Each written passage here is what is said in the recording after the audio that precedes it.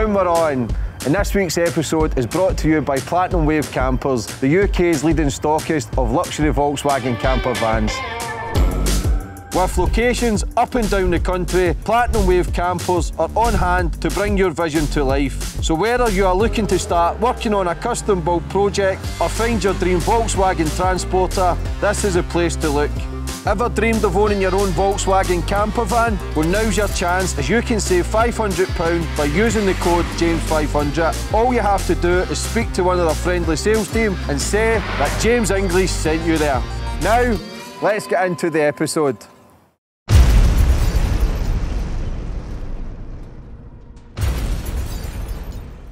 You can now follow me on all my social media platforms to find out who my latest guest will be. And don't forget to click the subscribe button and the notifications button so you're notified for when my next podcast goes live. I was born into a Protestant family, actually. You know, my grandfather's an Orangeman, but he met a woman down in Cork, and she was a Catholic. And when they got married, she demanded that their children be brought up Catholic. Otherwise, my life would be different from what it would be now. You know, I'll put your name down. I'll get you up here with me. So I was all brilliant. Two days later, he was shot dead, not too far from here. Shot six times in the face and the head by loyalists, murdered just for being a Catholic up here at the time. So with Bloody Sunday and the murder of my friend James, that was me finished with here. And I decided what my brothers were trying to do all the time, make me join the Republican movement. You know, and I decided that was the only way to change things here, to join the IRA. After a few months of training and learning things, I started to change. You know, I didn't want revenge as such, but I wanted no longer to be treated like a dog in my own country, in my own city. Didn't want to be treated like a second class citizen. And this was Ireland, yet it was occupied by Britain. Didn't think I had any right to be here. You know, I wouldn't have, Ireland wouldn't have a right to be in Britain, occupying England, London. So it was the same here. For me, my attitude was there shouldn't be any British here whatsoever, you know. When I got out, I got out in 1976. And about eight months later, I was captured in Belfast in a van with a load of bombs and machine guns, myself and five other comrades. But the time in the H blocks was horrendous. I was there for eight years. I was naked. I was stripped of all my clothes. As soon as I came into reception, the day I was sent, they brought me into reception. So it's like a room like this, six or seven screws waiting for you, where buttons. And the first thing they do is they start ripping all your clothes off till you're naked, trying to humiliate you because you refuse to put on the prison uniform because you're not a criminal. I'm a political prisoner, as I told them, I'm not wearing it. So they just kept beating and beating and beating me, you know. During the hunger strikes, we shot 38 screws dead. And I thought we should have shot more. I wanted as many, up 100, 200 of them dead. Even today, I check their names and see who's died, who's died of cancer or whatever. You know, I don't. I hate them so much. They got away, brutalizing us and torturing us for years. Got away with it. They got big bounty money, and they loved doing what they did. You know, and these are war criminals.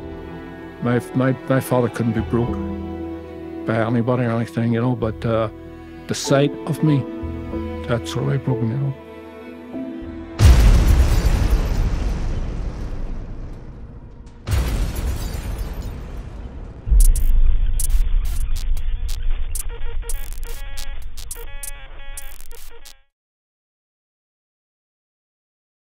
Boom, we're on. Very good. And today's guest, we've got Sam Millar. Sam, how are you, brother? James, thank you for having me. Thanks for coming Pleasure. on. No, thank you. Bit of a mad story, Sam. Involved with the IRA, ended up in America, one of the biggest heists in American history. Sent to prison, president's phone in White House. It's a unbelievable story, and I'm glad you're here to tell the tale. Oh, I'm still glad to be alive to tell the tale, you know. First and foremost, Sam, how are you? Uh, pretty good, you know. But uh, yeah, my life story is a bit strange, you know, because uh, I was born into a Protestant family, actually. You know, my grandfather's an Orangeman, but he met a woman down in Cork, and she was a Catholic. And when they got married, she demanded that their children be brought up Catholic. Otherwise, my life would be different from what it would be now, you know. Yeah, I, I spoke to a few people from um, both sides of the conflict here, and they say the exact same. If they grew up a mile down the road, they'd have been fighting for another cause. It's- Exactly. It's, just the, the environment you grew in. That's all it is. you know. consumes you. Always go back to the start of my guest, Sam. Where you grow up and how it all began? I grew up in a street called Lancaster Street, Belfast. It's quite a famous street. From the 1930s, there's always been rats. It's a small nationalist enclave surrounded by loyalists.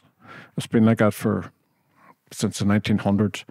Quite a famous street. And uh, in 1930, the New York Times had front page because there were so many people murdered in the street by loyalists, nationalists, and Catholics. So that's a street I was brought up in. It's a very, very staunch Republican street. And really, from that street onwards, that's where I was born and brought up. My family were Republicans, although I never really had an interest as a wee lad growing up. I was more interested in uh, discos, girls, and beer. That was all my interest. My brothers were all politically aware. They were into all the politics and republicanism. I had absolutely no interest. You know, as I said, only uh, go to discos with my friends. But when I was about 15, a couple of things changed my life. And one of them was uh, my brother brought me to Derry, 1971. I didn't know really where Derry was, but he says you were going for a trip down to Derry. I didn't care. As long as I was getting out of Belfast, that was the main thing, you know. So it was a Sunday. I'll never forget it because it happened to be Bloody Sunday. And it changed my whole life.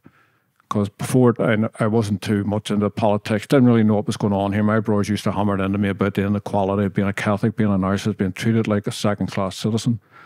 So that practically started to change my whole outlook about this place, you know. And about two months after it, one more event happened, and that was me finished with this place, you know. Uh, my friend Jim Kerr, 16, he had just got a job in a garage up here in Elizabeth Road, coincidentally. And I was working in the slaughterhouse. So I was quite envious, you know, and the slaughterhouse was a rough, rough place, you know, it was like 93% loyalists, 7% Celtic. It was a very dangerous place. I hated it. But he said to me, Look, don't worry, give me a chance to get in. Once I get into this job, a few months, I'll put your name down, I'll get you up here with me. So I was all brilliant. Two days later, he was shot dead, not too far from here. Shot six times in the face and the head by loyalists, murdered just for being a Catholic up here at the time. So with Bloody Sunday and the murder of my friend James, that was me finished with here. And I decided what my brothers were trying to do all the time, make me join the Republican movement. You know, and I decided that was the only way to change things here, to join the IRA. And that's why you joined for revenge as well and to I guess it was. At the time, it was revenge because I wasn't too politically aware. You know, I was naive because when the IRA found out what I was really joining them for, they, they ostracized me. They sort of kept me away from anything. They weren't, because they don't want you here for personal vendettas or anything like this. You have to be educated first to find out, is this what you're willing to fight for? You know, everybody thinks, oh, yeah, get you in there and the IRA will take you in. It's not like that at all, you know they take our time to find out what type of person you are, you know. And as I say, was very naive to it all. And after a few months of training and learning things, I started to change. You know, I didn't want revenge as such, but I wanted no longer to be treated like a dog in my own country, in my own city. I didn't want to be treated like a second class citizen. And this was Ireland, yet it was occupied by Britain.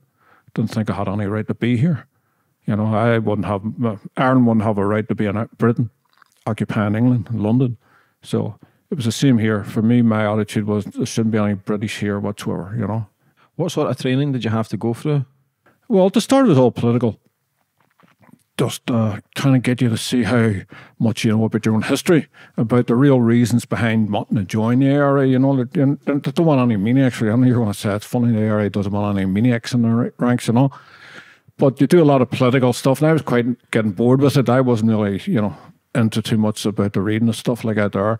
But after a while, you get taken to camps down south where you get to learn how to train with weapons and explosives and things like this. So when you go back up to the north, you'll be better prepared to fight the Brits who were there at the time, the British Army. So you're training yourself to be to handle conflict and take away the anger side where you want revenge, where it becomes more of an organisation that you're more in tune of what's going on and what you're fighting for? Yes, it changed me. It definitely changed me. I met men, and you know, I was only a kid really, but I started to meet men who had been doing this a long time in their life. You know, before in the fifties and sixties and all, they were hardened sort of veterans and on. It changed me listening to them, because I was a bit of an idiot. Like I was just a nutcase, you know. But once I started to talk to these men, they were showing me the bigger picture. It's nothing to do with Protestants and Catholics. That's sectarianism. Absolutely nothing to do with it. Because as far as we were concerned, we were going to fight for them as well. This is our country as well. But they had to treat people equal. We had have to treat them equal. And that's the way I want. That's the way we wanted it. And that's where I learned the training. Does that hurt you? Like Irishmen killing Irishmen? Like does it does it sting really when you think about countrymen killing their own? Like, it's, it's from living from the outside. It, it is mad when you look in. Like just a few miles across the water, we've got Scotland, but then there's a, a kind of war zone going on where people are killing each other, Yeah. bombing each other, innocent people, innocent lives getting took. That it is mad to think that this was only a few years ago. A few years ago. Like, does that come in your mind that these are your same people, or is it just they're fighting for a cause and you're fighting for a cause? Well, as I said, different events changed my whole life, and I wasn't going to no longer be treated like a second class citizen here in my own country, you know. And at the mean, at the back of my head also was if we ever did get the country united, unionists would have to be treated equally too. We'd have to learn from their mistakes the way they treated us, you know. And people from outside think about, oh, it's a Catholic Protestant conflict. It's a lot, it's a lot of nonsense, actually, you know. But that's how it's been given by the media the media is a great manipulator of propaganda. And as far as I'm concerned, I mean, I was born a Catholic, but never practiced, never went. Didn't bar me why you're Protestant, Catholic, and atheist, Muslim. I couldn't care less about religion. It's got nothing to do with it. But when you're coming into my street to murder my neighbours and to murder my family, I'm not going to stand idly by, you know. That's what the whole concept was for me at the start, you know. It was the only way to get back at these armoured cars, British, British Army coming into the streets, murdering people in Derry and getting away with it. They murdered 14 people, the paratroopers. Got medals from Lizzie Windsor for doing it, you know. And for me, I was the only way to change things was to use force against force. And I was terrified. I didn't like it, you know. I, I was crap myself going to be killed. I wanted to go back to disco days. That was never going to happen again unless I changed things. But I missed them. And now I was on a course now where force was the only thing that I knew because it was force being used against me by loyalists and by the British. How is that seeing like friends die, kids die? Like, how is that mentally for a man to see that? Well, I can still remember my friend Jim, you know, talking to him at night. We're talking football, and the next morning he's dead, you know. Still remember a few of my friends and their friends. I've seen a lot of scenes, terrible scenes, you know. I've seen arms and legs landing on the streets after bombings and things like this. There was a very famous, infamous bombing called McGurk's Bar, where all these civilian Catholics were murdered. Bombs, two bombs put in the bar, and then the British media said that the people inside who were killed were making bombs. So there was poor innocent people damned again, condemned again. Once they were blew up, then their names was dragged through the gutter. It's only lately, 40 years later, that the British have apologised for spreading them rumours and using the newspapers, you know. There's a lot of people looking from the outside think it's a Catholic Protestant thing. It goes a lot deeper. Like, can you explain to people what what is the main issues and why it all started? Well, basically, in a nutshell, before trying to make it too complex, is this is part of Ireland. This is the northern part of Ireland. It's nothing to do with Britain. Britain has occupied us for 800 years using force because we're a small country, you know. Britain's a very powerful country. They, they invaded so many countries around the world. Their history stained with invading countries, you know. And for me, no country has a right to be in anybody's country. It's up to the people who live there to determine their own futures. And I don't care how mighty in our country is, they've no right to be here. America shouldn't have been in Vietnam, etc., etc. It's the same argument. Britain has no right to be in Ireland. And unfortunately, the Britain had, the British had the Unionists here and give them all different rights, had give them in charge of everything. They had all like nice houses, a good property, good jobs, best education, where Catholics were treated like gutter. And that had to change, you know. You get sent to prison as well. Well, when I was uh, 16, I got sent to Long Kesh and I was done under what's called a Diplock court. It was just out, they just created this, the British created this as a non jury trial, so called trial, and a British judge is there to convict you. Now, I was only 16 and he said I was in the IRA. There was no evidence to say I was in the IRA. Most people were getting fined thirty pound. That's how much the loyalists they were getting fined fifteen pound because they're in the UVF, UDA. And the next thing he hands me three years. Now I'm only a wee lad of sixteen years of age. You know, never seen a prison, never understood it. And when he sent me to Long Kesh, inside that was a political prison, it's a big camp. full of political prisoners. I started to get educated by these guys, teachers, professors who were in there, learn more about what I was fighting for and how to fight better. So when I got out three years later, you know, I really, really started to fight the British earnestly, you know, and I really hurt them in lots of ways. What was it like being in Long Kesh? Was that where they done the hunger strikes and stuff? No, that's the second time I came back. This was nearly 70s, and it was a big political camp. There was no screws allowed inside the cages, and you you trained and you exercised. You did a lot of gymnastics and all this, and your education. That's all you did: train and education, train and education. You know, until you got out. Now, when I got out, I got out in 1976, and about eight months later, I was captured in Belfast in a van with a load of bombs and machine guns. Myself and five other comrades. But when we were stopped by a British foot patrol, we jumped out of van. There was a lot of fisticuffs. We started fighting hand to hand combat, and we got away. Everybody got away. So I was wanted for a long, long time till I was caught. About three months later, I was caught doing an operation. And at this time, Margaret Thatcher had taken away political status from all the prisoners who were fighting against Britain. They tried to make it into a criminal enterprise that if you fought Britain, you were a criminal.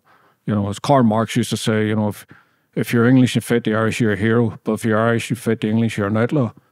And that's the way it was. She tried to make us outlaws and be criminals, but we weren't going to have it. So when I went into Crumlin Road jail, the status was taken off, and I was sentenced to 10 years this time for having explosives and machine guns.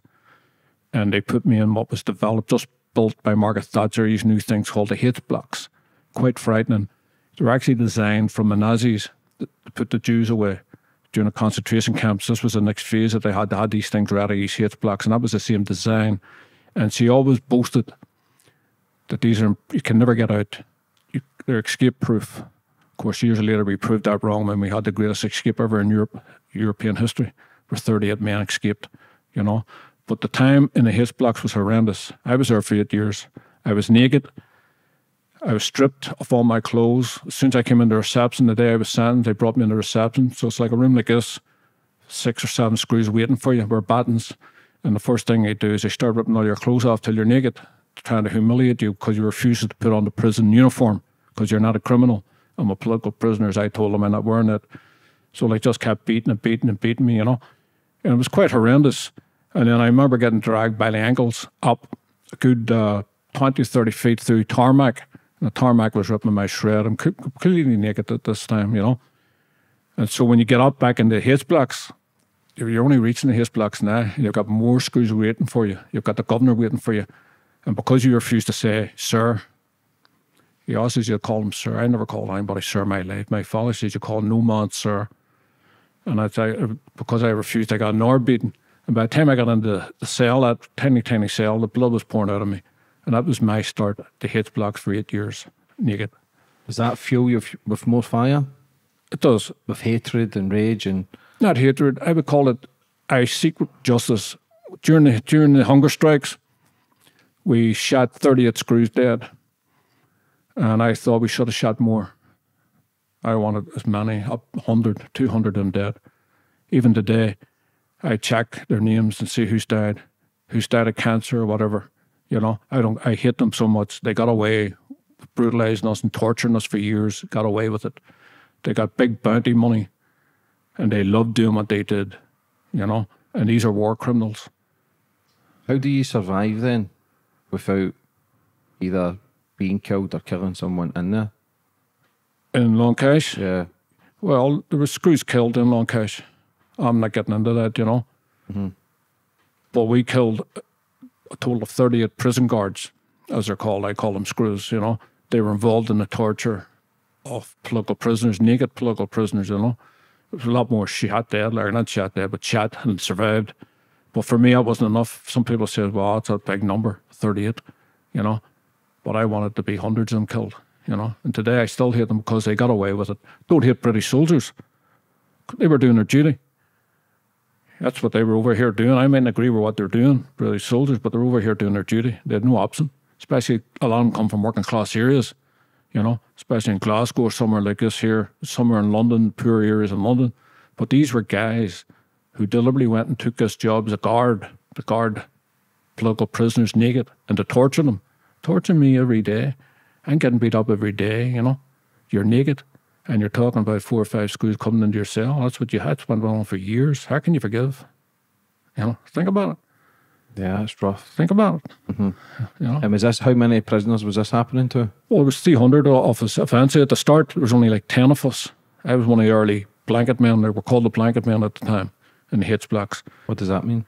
Uh, because all they give us was this tiny blanket, very coarse. It's like a Brillo pad.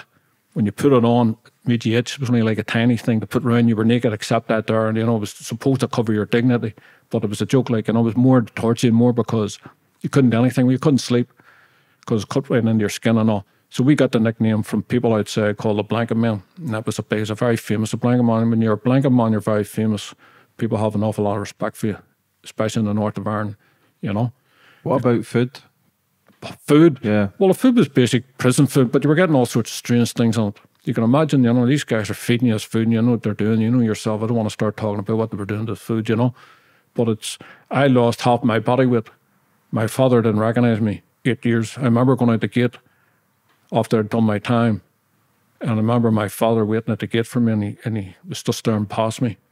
He didn't, I hadn't seen him for eight years and he didn't know who I was. Uh, my hair was way down my back. I was as skinny as that. You know, before that, I used to do weights and everything like this here. And he hadn't a clue who I was. And he just started crying. Never seen him crying. Only seen him crying twice. It was once a bloody Sunday when he thought I was dead. And that time when I got out of Long Kesh. And he was, it, it, it changed him. It broke him more than it broke me. Yeah, My his son. father never got over because he thought my son was going through this. Well, you know, why did I lose? But there's nothing he could do, you know. But that's the way my father was thinking, you know, that mm-hmm. he should have been doing things. He'd have wanted to go out and kill the screws if he thought he knew what was going on, you know. But it broke him. Were you allowed letters? Send anything out? No visitors? What was it? I never got a visit. I never got a visit ever. And I haven't seen my family. When the day I went in until I got out about eight and a half year, years later, roughly, I never seen any of my family. Never had contact with them. Occasionally, you might get a letter, but most of the time, the screws would burn them or rip them up, you know, and send you an envelope and laugh. Say, oh, it was a letter, if you, but you're not getting it, you know. It's sort of nonsense, you know. So I had very little communications with my family at the time. There was one particular incident that always stuck out my head when I was about eight my mother walked out on us when we were kids and never I never seen her again. I was eight years of age. She just walked out the door one day, never came back again. So I forgotten all about her. And I remember this priest coming down the corridor in the blacks. And I'll never forget it because anytime you seen these priests, the only time they ever showed their fucking faces was when they were coming in to say somebody had died. You know, they wouldn't do anything for you, weren't they? Calling themselves priests and Christians, but they never did anything, you know, for you. So everybody's seen, we called them the angel of death because any time we're coming in, it's just to tell you somebody died and you always knew it was bad news. I was thinking, oh shit, some poor bastard's going to get some bad news here, you know. And then next thing I hear him stopping outside my door, the cell door and the rattling the keys and the screws are screaming, get back, mother, get back. You know, because I stand at the door, you know. And the next thing a priest shows up, looks at me. I thought, oh God, my father's dead, you know.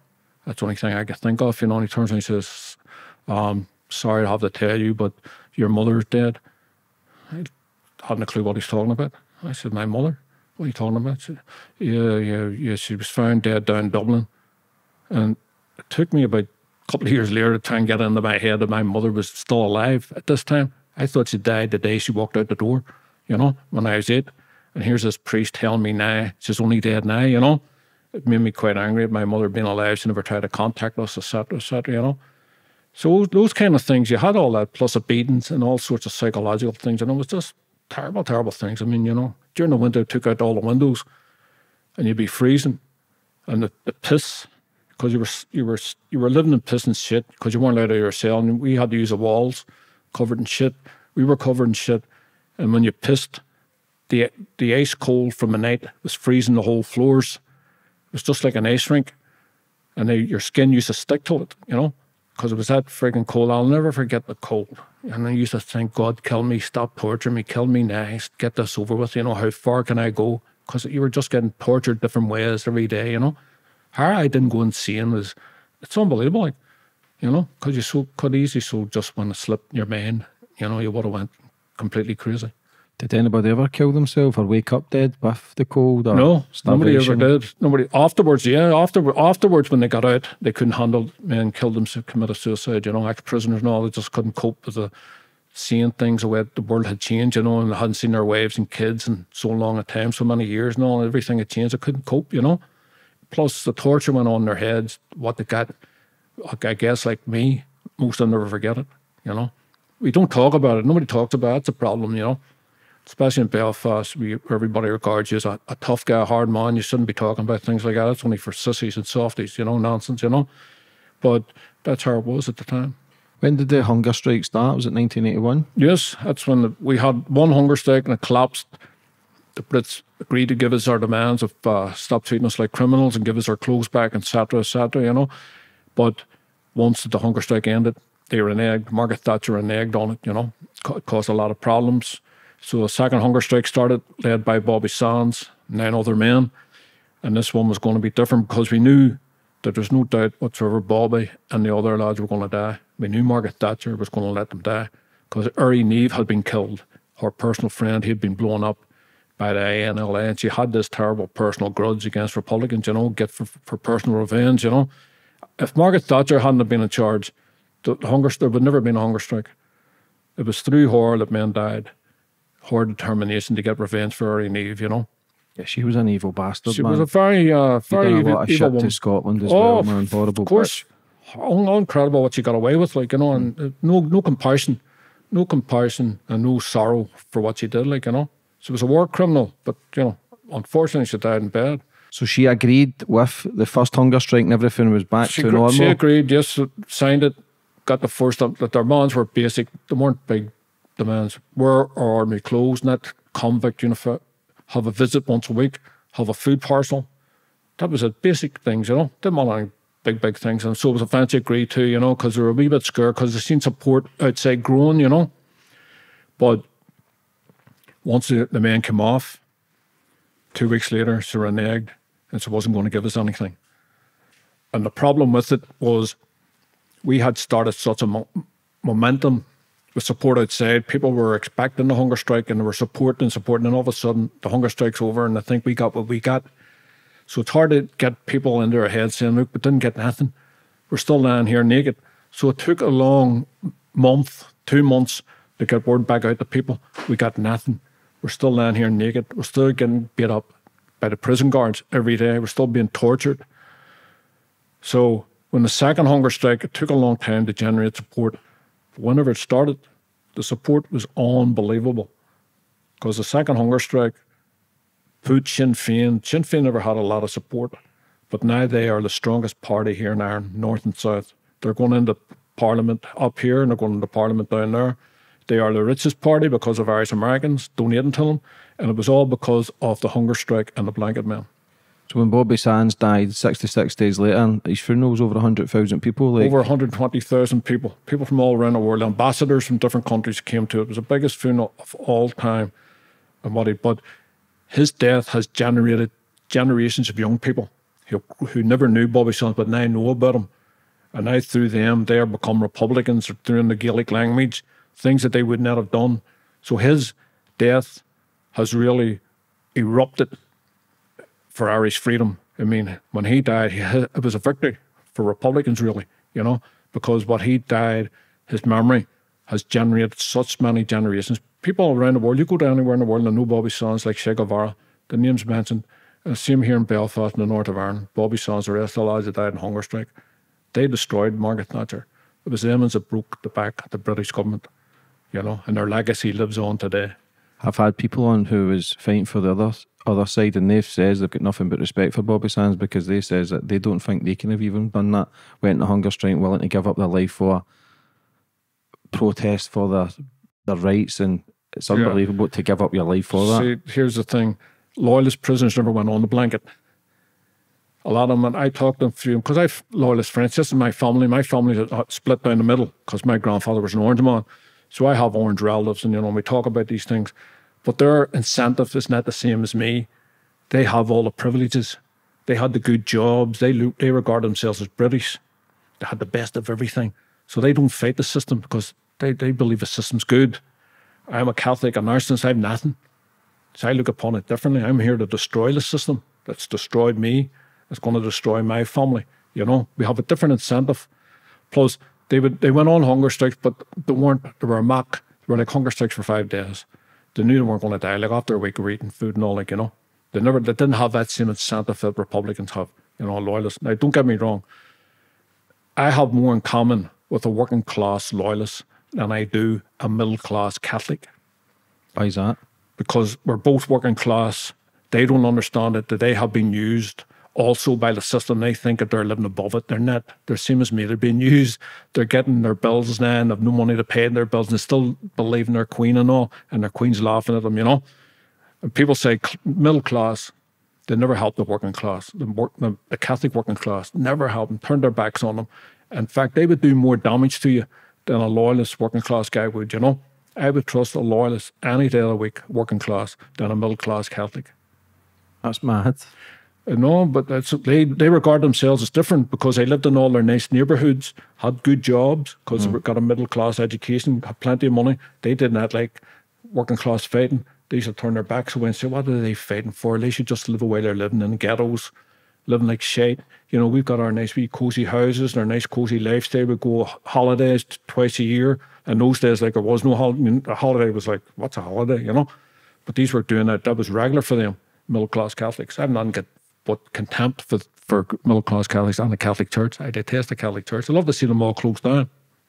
Uh, so, see when Bobby Sands died, what what were you thinking then? Did you think change was going to come, or did you just think that was just there was going to be more fuel to the fire? I thought Bobby died. You know, he he became elected to Parliament. He he, he demanded and commanded such unbelievable things. Like imagine being elected to Westminster and Margaret Thatcher letting you die one of our own MPs, you know. Plus the support that he had around the world was just unbelievable. Americans were giving us millions of dollars. When I say us, I mean the Republican movement, sending guns, machine guns that they never had before once Bobby Sands died. The support we had around the world, people started to recognize us as freedom fighters, not terrorists, as the British government tried to come across. They spent billions trying to put the propaganda that Irish Republicans were terrorists, and it cost them a lot of money. And all of a sudden, it was destroyed by Bobby Sands. People around the world started to look at it different and say, "These guys aren't terrorists. Far from it." And that's when the world started to support us, and it's changed forever. So, see, when, when you got 10 years, was there a release date at the end, or did you just get a chap at the door and say, Look, you're free today? Did you know you were getting out? Well, here's what happened. It's very, very strange. There's a big escape 38 prisoners escaped. Now, I had already done eight years, so I'm saying to myself, look, I've two more years to do. But I remained on the blanket protest. Six of us remained, even though, even though the IRA command told us to come off the protest. We refused, six of us refused. But the OC came down to us and said, without your help, we can't get these men out. We've got all these men doing life, and we've got a chance of getting these men out. And this is an impregnable prison You've got 30 gates to get out through. Each gate is like a nightmare. And I swore away and said, I was laughing. I says, Are you crazy? Do you really believe this is going to happen? It's not going to happen. It's impossible to escape of this place, you know? But once I escaped, it changed everything, you know? So you didn't want to escape because you knew you were. I had no. If I was doing life, I would have escaped with them. Because I had only like a year and a half left, there was no point. You know, what's the point of going on the run? It's not worth it. And then what happened was they closed the whole place down. And about six months later, the governor comes to me and says, Millar, your time's up, even though it's still a year left. You know, I don't know why they were just glad get rid of me to get me out or whatever. And he came and I was a bit shocked because I, you know, getting out. And then all of a sudden it was a daunting, my head was like, getting out. What am I going to, you know, my heart started going overboard. Getting out to what? I don't know what I'm going out to don't know what my family's are, what's going to happen to me. It was so it was nerve wracking. It was more nerve wracking thought about getting out of freedom than it was remaining in my cell. It was a horrible thought of walking the last yard towards freedom.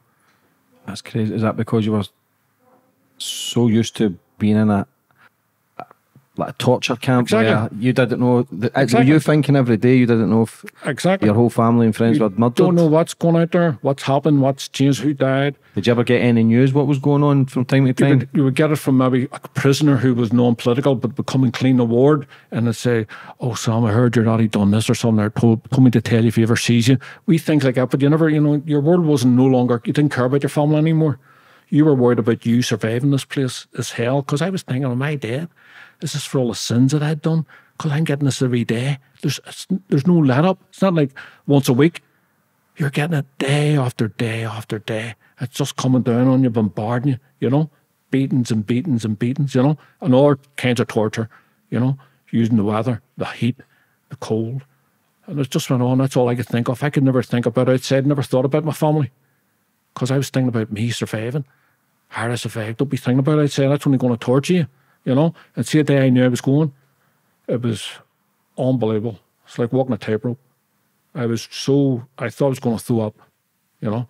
And then when I seen my father, you know, I knew it was him because he's a big, big man, you know, and my brothers. But when he just kept staring, because there were about ten of us getting out, you know, and he kept looking, you know, to see if he could see me. Uh, it was just sad, you know.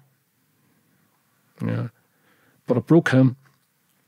My my my father couldn't be broke anybody or anything, you know. But uh, the sight of me, that sort of way broke him, you know. Sorry for, you know. Okay, does that bring back a lot of emotions? Yeah, I don't like I don't like thinking about it. To be honest with you. to come through those gates and having every day whether not your dad is alive or not, worrying about his son. Yeah. Like, like I don't think When you think of it, imagine your son was inside, yeah, and then all of a sudden you find out he was being tortured every day. You would what? What would you think about yourself? You would you'd think of let him down. You know what I mean? I know I've got my, my son. And if I thought I would never allow my son to go to jail, and I would never allow him to be in the IRA. Eh? You know, I've done enough. None of my family's going to do it. I would never. My kids all went to university. They've all got great jobs. You know, and I would never allow them to go through what I went through. And I don't know how my father allowed me.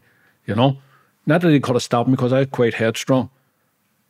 I don't know. I just would break my heart if I thought my son was arrested for a week for anything. It would break my heart to think that he was in there. There's nothing I can do to help him. I think your dad blames himself as well because Oh, the way time. it ended up, and that plays a, a massive time. burden on your heart. Big time. My father hardly drank. He drank like at the weekends. You know, he worked all his life. The Saturday night, he'd have a few beers. Became an alcoholic. You know, and you know, you don't blame. I can't blame my, myself. I know because you know, but I know it's because he thought he let me down. You know, that's the reason why. You know. So when you get out, what's in your mind then to to automatically get back involved and Yeah. fight again, or are you thinking I'm going to get out and move away? No, I was autumn. I went back to active service. I wanted to deal such a hard blow against the British that they didn't know what hit them. I wanted to do so much damage to them, you know. It was all building up to me, and I wanted to do the same to Screws, you know. And then the strangest thing ever, strange, it was, it was like a strange change in my whole life. I was only out about two days. I didn't know my father had this plan in the back of his head. You know, he had this plot going, and he introduced me to this young girl because my father used to be in charge of the Republican clubs. You know, he'd be watching all the security and all, and he called me over one day. And I didn't really talk to my father much because I'd changed so much. I didn't like talking to people, didn't like to be with people, you know. It was very, I find it very hard to communicate. And he says, Listen, son, can you just stay here for a couple of minutes? I need to go and talk to somebody. So I stood outside the big Republican club I have in the New Lodge where I was born, you know. And I wasn't even going in, but I wasn't even drinking. Next thing, this young girl comes out and she says, You want to talk to me? She says to me, I looked at her, I says, No, I, you've got the wrong person. You know, I'm, I'm just covering for my, my dad, you know. She says, It was your dad that sent me out. Little did I know, he had been plotting for a year for this girl and me to meet up because he believed this girl would take take me away from the area, you know, if I fell in love with her. And I fell in love with her, you know, and I started to go shift myself from Republican movement. You know, people say, oh, when you're in the you're in the for, eh, area for life. It's a lot of nonsense. Leave anytime you want. But I never, there's no way, if you said to me, you're going to leave IRA, I'd, I'd looked at you as if you're crazy. It was my life. IRA was my life. But all of a sudden, my whole, I'm changing. I'm, I'm looking at this girl and I'm, I'm starting to fall in love and I'm thinking, where the hell does this come from, you know?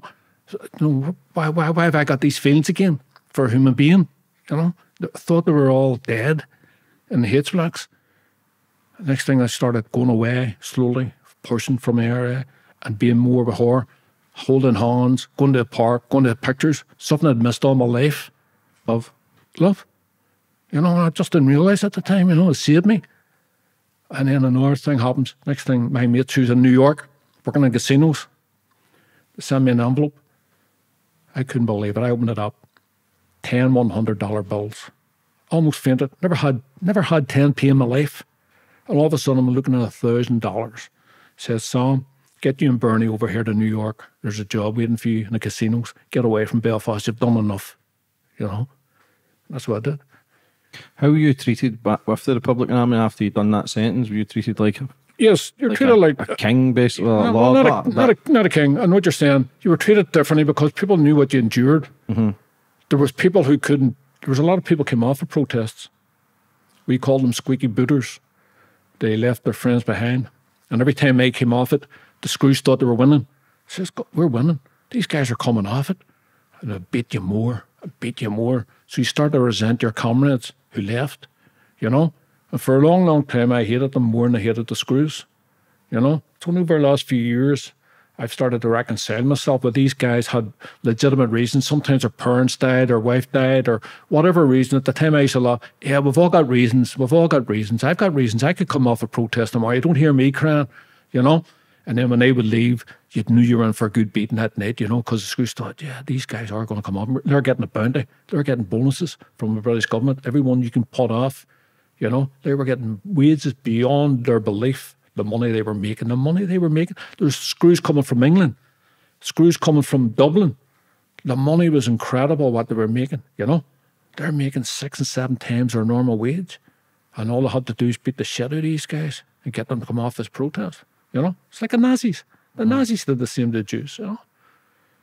Yeah, that's some sort of torture. Like a lot of people, even in Scotland, you've got Catholics and Protestants, and people fight over that. But when you actually go in depth to actually what it's all about and what fueled people to want to fight and stand up, and Yeah. it goes a lot deeper than what people think. I always thought if you left IRA as well, that that was you. You were blackballed. You were put No. to the side, possibly dead. Is that just a lot of shit then? when the scene when the scene that I was, you know, I never left because I was a scared. You know, I, I was a good operator. You know, I'm not saying I was, oh, look at me, everybody, but I was never afraid. You know, once I had the training behind me, and I always thought one day I'm going to be dead. I always thought I was going to be dead before I was 30. You know, that's the way I had in the back of my head. You know, I was to the fact. But once I came out and people knew I wasn't going to go back as a militant in the IRA, they were trying to encourage me to go into Sinn Féin, the political wing of the IRA, but I had no respect for politicians. I still don't. I hate them. I think they're treacherous, you know, Why is that? because they're liars.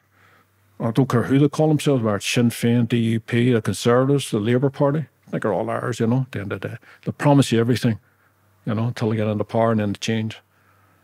Because we've had Sinn Féin, uh, they're in power, and they become worse than the Brits. It's like Animal Farm. And I'm one of their biggest critics, and they hate me because I'm a well-known writer now, and they can't silence me. So they're they're they're quite fearful of what I'm going to write. I read lots of critique up against them, you know. And I always say to everybody and young boys that come to me, I said, go and read Animal Farm, George Orwell. When they say, Sam said, I would join the IRA or whatever. I said, go and read Animal Farm. And see, after you read Animal Farm, you realize that's going to happen to you.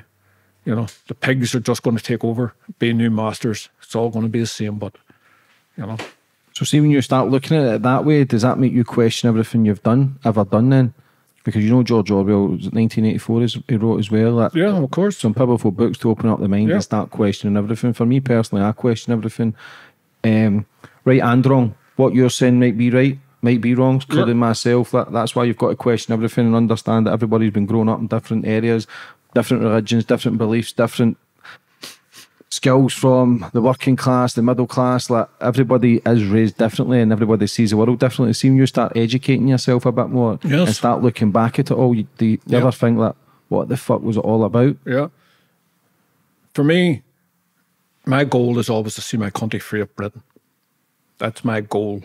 While Britain's here, I'll use any means. Right, I'm no longer involved in the IRA or anything. Now I'm a writer now, so it's, I've given up the sword and I have the pen. And for the first time, when I started writing books, I realized, you know something? The pen really is mightier than the sword. I used to laugh when people said that. because I'd have communists and socialists saying to me, you know, one day you're going to find out that the pen is made in their sword because in there I used guns and all. That was my sword. And I used to laugh at them. I used to call them cards. I said, you use it as an excuse because you are too afraid to fight. You just won't fight the British Army. You are afraid to fight, you know. You're making all these cliches and quotes and all. But as I became a writer and respect I started to generate throughout France and Italy, you know, in the newspapers, major newspapers, I was doing interviews. I, I sat back and I realized, you know something? I'm getting interviews where I'd never got interviews as an IRA man.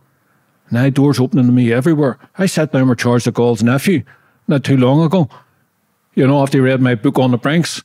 And I'm sitting, is this crazy? You know, 20 years ago, I'm sitting naked, getting the shit kicked out of me by screws. Said, this these screws. And here I am sitting in Paris with Charles de Gaulle's nephew, you know. What what can you say? Life is is a You know? fucking mad, mad journey. There's I always crazy, say this, but you know? when You, don't know what that- tomorrow's going to bring. Yeah, when you're believing you're sitting in a cell, you're thinking you're going to die for a cause, and then Yep. before you know it, you're traveling the world. You're a, Yeah. a successful author, written best-selling books. That it is mad. So when you got the thousand dollars to go to New York, was it an automatic decision decision to go? Okay, I'm going to change my life, or No. was it hard to leave the cause? Oh, I remember talking to my father, and you know, the thousand dollars to get me in Burnout was my future wife, the girl that I met. My father introduced, and to get her ticket and get me a ticket. But I had a big problem was I wasn't getting into America legally, so I knew it was going to have to be smuggled by Irish Americans. Bernie could get in; she'd never been in trouble in her life, and she'd get in no problem. But here's the thing: I thought to myself, "There's no way I'm leaving Belfast," you know there's no way. Too, I lost too many comrades. You know, I lost about 50 friends, personal friends killed during the conflict, fighting the British, fighting the Loyalists. And that sits in the back of your head. You know, you keep thinking about them, you're thinking about them, you know. But I remember talking to this woman, and I was talking, I was saying about the conflict I had in my head. You know, I was saying, look, I feel guilty. You know, and she looked at me and says, You feel guilty? Why would you feel guilty? You of all people, you know, what you went through do you not think you deserve an, a life now? Do you not think you've done enough? You know? And I was after talking to her because her son, two sons had been killed, you know? And once she started to tell me, and I felt better because I thought if this woman says, "Oh, how could you think of even leaving Belfast? You know, your comrades have died. But she didn't. She said the opposite. She says, you not think you deserve a life now after all you went through? And that was it. I had said to my father, Dad, it was a Friday. I'll never forget. I said, Dad, I'll be back next Thursday. I'm going for six days to New York. And I stayed 14 years. I couldn't believe it. The first time I ever knew what freedom was was when I walked into New York. And I thought, what is this? What's this sensation? Something's doing something to my head and my hair. And I realized it was freedom. It was the first time ever I had freedom in my life. And I loved it. Yeah, was that a good feeling then? Coming, did, did you decide then you were never going to come back? said, finished. I will never go back because I'd never tasted this thing as freedom. I was like a little kid giggling, and people were looking at me and like, "What the hell's wrong with him? He's just drunk. He's drunk." You know, and you're, it's not. You're just saying, "Fuck, I never had this." And then for a while, you're thinking, "All my friends never had this. They still don't fucking have it." And here I am in New York, fucking freedom. I I couldn't get it over me. I was like being on a high. I don't take drugs, but imagine that's what it would fucking do to you. You're just like, can't believe this. What this sensation is. And Like re- big after, afterwards, later, I'm sitting back. It's freedom. And does that? I was, that's what I was going to ask. Like, does that make you think about the friends you've lost? Listen, life's lost on both sides, but does that make you question that people never got to ever taste that? Like, Yes. never taste the fact that they didn't have to be in the war zone where you're fighting each other, and and then when you taste that, you're thinking that's another burden that comes on your heart because you seem to me you carry you, you carry a lot of pain, brother. But it's totally understandable everything you went through. But when you're walking there and you're thinking, wow, like you don't have to look around your shoulder. I'd imagine you still would have anyway because obviously PTSD and all the trauma you've been Yeah. through. But when you're walking there and you're thinking, fuck man, like if only people could see what it was like when they took themselves out of was. that bubble. And when I was there, I tried to organize as many people as I could, ex comrades who had been through jail, get them over with me. I was trying to explain to them, you just aren't going to fucking believe it until you come over here. You just don't know what it's like, the experience. And I was thought, what are you talking about? And I said, when you come over, and we organised about six or seven people trying to get ex prisoners to come over, give them jobs in a casino. You know, this was a way to relieve my guilt you know, I still had guilt, the fact I left Belfast, you know, and the war was still going on at this time and I was still losing friends, you know, things like this here. But you go to bed at night and you're saying, no, this is the best thing. Now, my wife's pregnant and she's going to have a. And I thought, imagine you were going to have a child. You know, when you're in the H blocks, you think you're going to die. Now you're in New York and your wife's going to have a baby born in New York. I thought, how, how did my life change? Was I in hell and something got kicked up into heaven? You know, what made this all change so dramatically and so beautiful and so powerful? Unbelievable. See, if you never met your wife, though, do you think you'd have probably died here? I would never have left and I'd been dead. I'd have died in Belfast fighting. Simple as that. She changed me. And sometimes I laugh and point to you, made me get out of there, you know. Like she laughs like, you know what I mean? But she knows where I'm coming from, you know. How many close calls were you to death? You Obviously in the H block, but outside, I'd bombs, say guns. I've only a couple. I wasn't reckless. I was always very shrewd about what I was doing, you know. But afterwards, I talked to a couple of loyalists, you know, years later, because I'm, I'm, I'm I've got a lot of loyalist friends now, you know, they're playwrights, and you know, I playwright and all this, and we get to talk, you know, says, so you'd be surprised how many times we went looking for you. You know, you just weren't there those nights we were told that you'd be there. The cops were telling them I was there, you know. So you're sitting in your mind, going, fuck, you know, thinking of these guys getting you, taking you away somewhere, like a Shankill Butchers and cutting you all up and all that, you know, your your mind does terrible things to you. But I know somebody was looking after me. You know, I, I don't know who it was or whatever, but somebody up there, if there's an up there, was looking down on me because I, I, I had a charmed life. The fact that I'm still alive Higher power protecting you. something. So I'm not trying to get corny. I'm not trying to be religious, mate. You know, I'm just saying to you, how the hell am I still alive today? You know, See, if you did get captured, what would have happened? captured by the loyalists. Yeah. Oh, I'd been tortured, tortured to death. You know, Did that happen to a lot of men? Well, a lot. Well, not a, this is a strange thing. Not IRA men, Catholics. IRA men were too shrewd. IRA men are always on alert. You know, you're always waiting for something to happen. But ordinary Catholics got complacent. And they were thinking, no, he wouldn't do that to me. He- He's, he's my neighbour. He's, I've, I've known him for years. The next thing they're dead. They're shot dead because their neighbour set them up. But an IRA man will always be waiting, waiting for the worst to come. Always alert.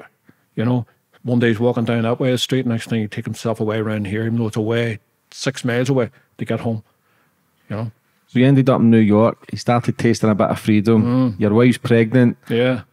You should be thinking to yourself, well, do you know what? I'm going to live the good life. But you end up involved in one of the biggest heists in American history. Yeah. $8 million. Like, Yeah. What was going through your mind? That even though did you still have that in you, uh, you needed to survive, make some money, and, Well, and still have that buzz about it? Before the big robbery, I had one of the greatest jobs I'd ever imagined. I was working in a casino and I was getting so much money every day. You're getting paid, you're getting a tip every day. I had so much money I couldn't deal with it. You know, I'm talking about thousands and thousands and thousands of dollars. You're seeing all these actors, famous boxers coming to the casino. Was, I was in the, I didn't like to go home in case I missed something. I just loved working. I worked seven days a week. I was a workaholic, you know. But I met this friend of mine who helped get me into America. He was an American cop. Now here's a contradiction. Here's an IRA man, and his best friend's a, a cop. You know, see that wouldn't happen over here.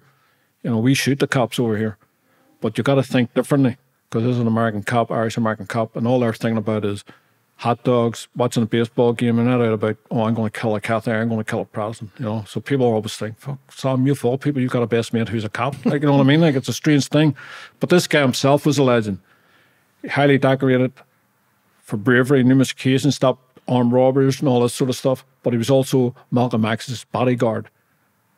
When, he, when he came to New York, he was one of the cops assigned Malcolm X's bodyguard, you know, because he was so highly respected, you know, among the black people up in Harlem and all. So he was a guy, he worked in this place, it was a beer place, as a, you know, just making beer. But he also had a second job, and that was Brinks. And the Brinks was it's like a big fortress where all these armored cars come from the whole of America. And they deposit all the money from the banks and they sits in this big fortress. It's like Fort Knox when it's called Brinks. You know, it's very, very famous in America. And he worked there as a security guard there on extra money. And a few times I was up during the 4th of July, we'd be sitting eating hamburgers during the 4th of Ju- July, just celebrating American, kicking the Brits out of America. And the next thing you look at all these safes, the size of this room, filled with money, not even locked. And all of a sudden, my mind's going, this is crazy. this is ridiculous. This is absolute. And I to say, why, is- why isn't that closed? I said, what's the point of closing? We're going to take it out soon and get it burnt or move it on to another part of America. So they're that lazy. They got that lazy and complacent. They didn't even lock the safes. And all the money's just coming out, spilling out, you know? And then I go back to New York and thinking I'm talking to someone, but I'm not. I'm thinking about all these safes for all this money in this fort. And I just couldn't get out of my head. And then after a while, I finally says, you know something? It's, it's just aggravating me. It's like a cheeky thing. They're like saying, come on, dare you? And I did it. You know, I decided I'm going to rob the Brinks, get as much money as I can. I'm talking about, I wanted a couple of hundred thousand because I said, if I can get a couple of hundred thousand, that's enough for me. You know, I live a life of, you know, little did I know what was coming, you know. Would you think that was a test from God to see if you were changed, oh, man? I shouldn't have done it, you know. Maybe it was a test of God because I regret doing it. I would have fucking done it as well, Uh, mate. No, yeah, I, I did it and I loved doing it. It was more like oh, back to the old days, you know what I mean? It was just the whole adrenaline, the, the cheekiness of it, you know what I mean? But afterwards, I regret it. I'm not saying it because, oh, yeah, I seen religion. I should never have done it because America was good to me. The first country I ever tasted freedom. I got a good job. I looked after my wife, my kids, you know? It was a great country and I love America. I love Americans. And afterwards, sort of like my family disowned me, you know, after it and my friends disowned me. And it took a long time for anybody to start talking talking to me again. You know, I was ostracized, really. Yeah, the Once, Americans. once are, I was caught, like, yeah, you know. the Americans are good. I love the Americans as well. They're crazy, but they welcome people from all over the world. Oh, yeah. It's a great place. But so when you're thinking about doing that, then would you? Did you never think about doing the casino you were in? no, oh, no, no, no way. I was put in charge of casinos by a guy called Johnny Mack, second generation Americans. And because I was spent time in Long Kesh, he was a big Republican supporter. He knew, trusted me without a thought. I would never, ever do a thing. I would never take a penny. And all the ones that worked in the casino, half of them were all IRA men from the H blocks. And he knew he was well guarded, that nobody was going to steal a penny out of that place. And I worked my way right up the ladder. I became what was known as a boxman. I took all the money from all the boxes inside the casinos, all of them, every night, filled them, hundreds of thousands of dollars, taking away the safe place. And he knew there wouldn't be one dollar missing, and there never was. See, when you go there for the clean life, is part of you miss the old Sam though, living in the war zone, living in the madness because you were so used to it that you thought you wanted that extra buzz again? Yes. Uh, it's it, I didn't know what it was, you know, at the time, but you used to look back and thinking, oh, I've got a great casino, a lovely house and wife, and but you're getting bored. You know, it's not it's a terrible thing to say you're getting bored because you don't see a war going on. You know, it's not like that, you know, but there's just something missing in the back of your head. So when the, the Brinks came up, I was like, oh God, this is great. This is like something being sent to me. You know, back again to see if I'm still got the balls that I used to have, you know, and that's what it all came down to, you know. I mean, I was testing myself, you know. but when, when I went, I had this target in the back of my head, you know, 100, 200,000. I thought, you know, that'll do me, that'd be nice. You know, that's what I my target was when I went into the Brinks to rob it. Like, you know, I wasn't going to take anything else. How did you plan it? The plan went on for about two different, well, went on for basically for two years. The plan was so simple. Sometimes I say the best plans are the simple plans, you know, don't make it too complex, don't make it too difficult for yourself. But because I'd been up there so many times inside the fort, I seen the lack of security. There's one notorious thing that came out in the court. Sometimes they're at lazy, they refuse to lock the gates. They left a wee bit of wood or a pencil. So as the pizza man delivery used to come, so as he wouldn't have to do all the hassle of pressing bells and buttons and the guards that come down let him in. They just have the pencil, push the pencil out of the road and go in through the doors and get in. And I couldn't believe all these things. I was taking note of all these stupid things that they were doing. You know, it's just American complacency. American, they were getting lazy. They were getting paid nothing. They're getting paid buttons. Yet here they are guarding hundreds of millions of dollars, like, you know. And the plan had come different times. And the way you're thinking, that's crazy. You're, you're going to get shot dead. You're going to bring shame to your family after all you went through, you know. You're going to get caught. You're going to bring shame to your family, all this here. And then you're going to go to penitentiary if if you're lucky. And you don't get shot dead because these guards are going to shoot you dead for doing this craziness. These thoughts are going through your head. And then the wee devil comes on the other side and he said, No, you can do it. You know you can do it. You've done better things than this. You can do it, you know. But then the wee good person, don't don't be fucking listening to him. You're going down. You're going to jail. You know, you're going to be killed. You know. But that's how it started. How is that when you're planning that for two years? Like the the good and evil's on your shoulders and Yeah. everybody's shoulder. When you've got your wife there, you're making money, but then you know what you put your dad through the last time, Yeah. and yet we still seem Uh-huh. like you've done fucking mad stuff. But you, people who I interview, they still seem to choose that extra bit of something when their life is going good. This test Oh. the powers of whoever controls this universe. You're Like, hundred does that- You're hundred percent right. Do you know what I mean? Like, Yeah, hundred percent. Because I kept saying to myself, why would you even think you've got everything? Look at where you're living. You're living in a beautiful neighborhood. You know, you've got a comic book store. The dream of your life. Because I always dreamed about having a comic book store. You know, in New York. So you've got everything going for you. Got the casino, money, so much money, you can't spend it. You know, your kids are going to great schools. Your wife's happy. Why would you fuck that up? But of course, I fucked it up as usual. You know, it's just something in me. and there was a priest involved. Yeah, a priest. Yeah, he calls himself a priest. You know, I don't want. I'm not going to rip the back out of him because he's not here to defend himself. Although he ripped the back out of me, magazines, newspapers all over America. You know, Did he? Yeah. Oh, fuck, Cheeky bastard. Oh yeah, yeah, typical. You know. And I always vowed I'm, I'm never going to go down as low as him. You know, I'm never going to fucking rip while he's not here to defend himself. But he was a bit of a rascal, like you know. There was a lot of tragedy involved in the Brinks. And one of the biggest tragedies was there was a, a guy from Liverpool, an Irish guy he was involved. He wanted to do the first robbery, but we got up there, and when we just it was a winter, and just as we got approaching the fortress, he back he turned up, he turned away, he chickened out, you know. And he always thought that he should have parts of the robbery, even though he wasn't going to take part in it. You know, I mean, I was I don't like that sort of an attitude. Like, you know, you're you're chicken out, but you want everybody else to go and fucking put their life on the line, you know. So when he found out two years later that the Brinks had been done, he just went one on one as two. He knew who it was. So he started coming around this priest who's a well known figure in the Irish American, looking after poor people down the village, you know. And he knew he and I, the priest, had had a friendship because I had to get all this furniture and all give it to him so she'd give it to the poor and all this sort of stuff, you know. So Ronnie was watching and he knew Father Pat, as he calls himself, knew where I was. And he went to Father Pat one day, says, Look, tell Sam I know what he did, but all I want is a hundred thousand. I keep my mouth quiet, you know. My father Pat was against me giving him money, you know. And I says, Look, it's only hundred thousand. Look at the money we have. Had a room, half see, half the size this room was filled with dollars up the scene. Couldn't spend it. You know, we had eight million dollars sitting in this room. I says, You're you don't want to give him a hundred thousand, it's only chicken feed, it's crumbs. So he says to me, Okay, okay, okay. I'll give it to him. week later I met the priest, he says, Yeah, it's okay, taken care of. I'll give him it. You know.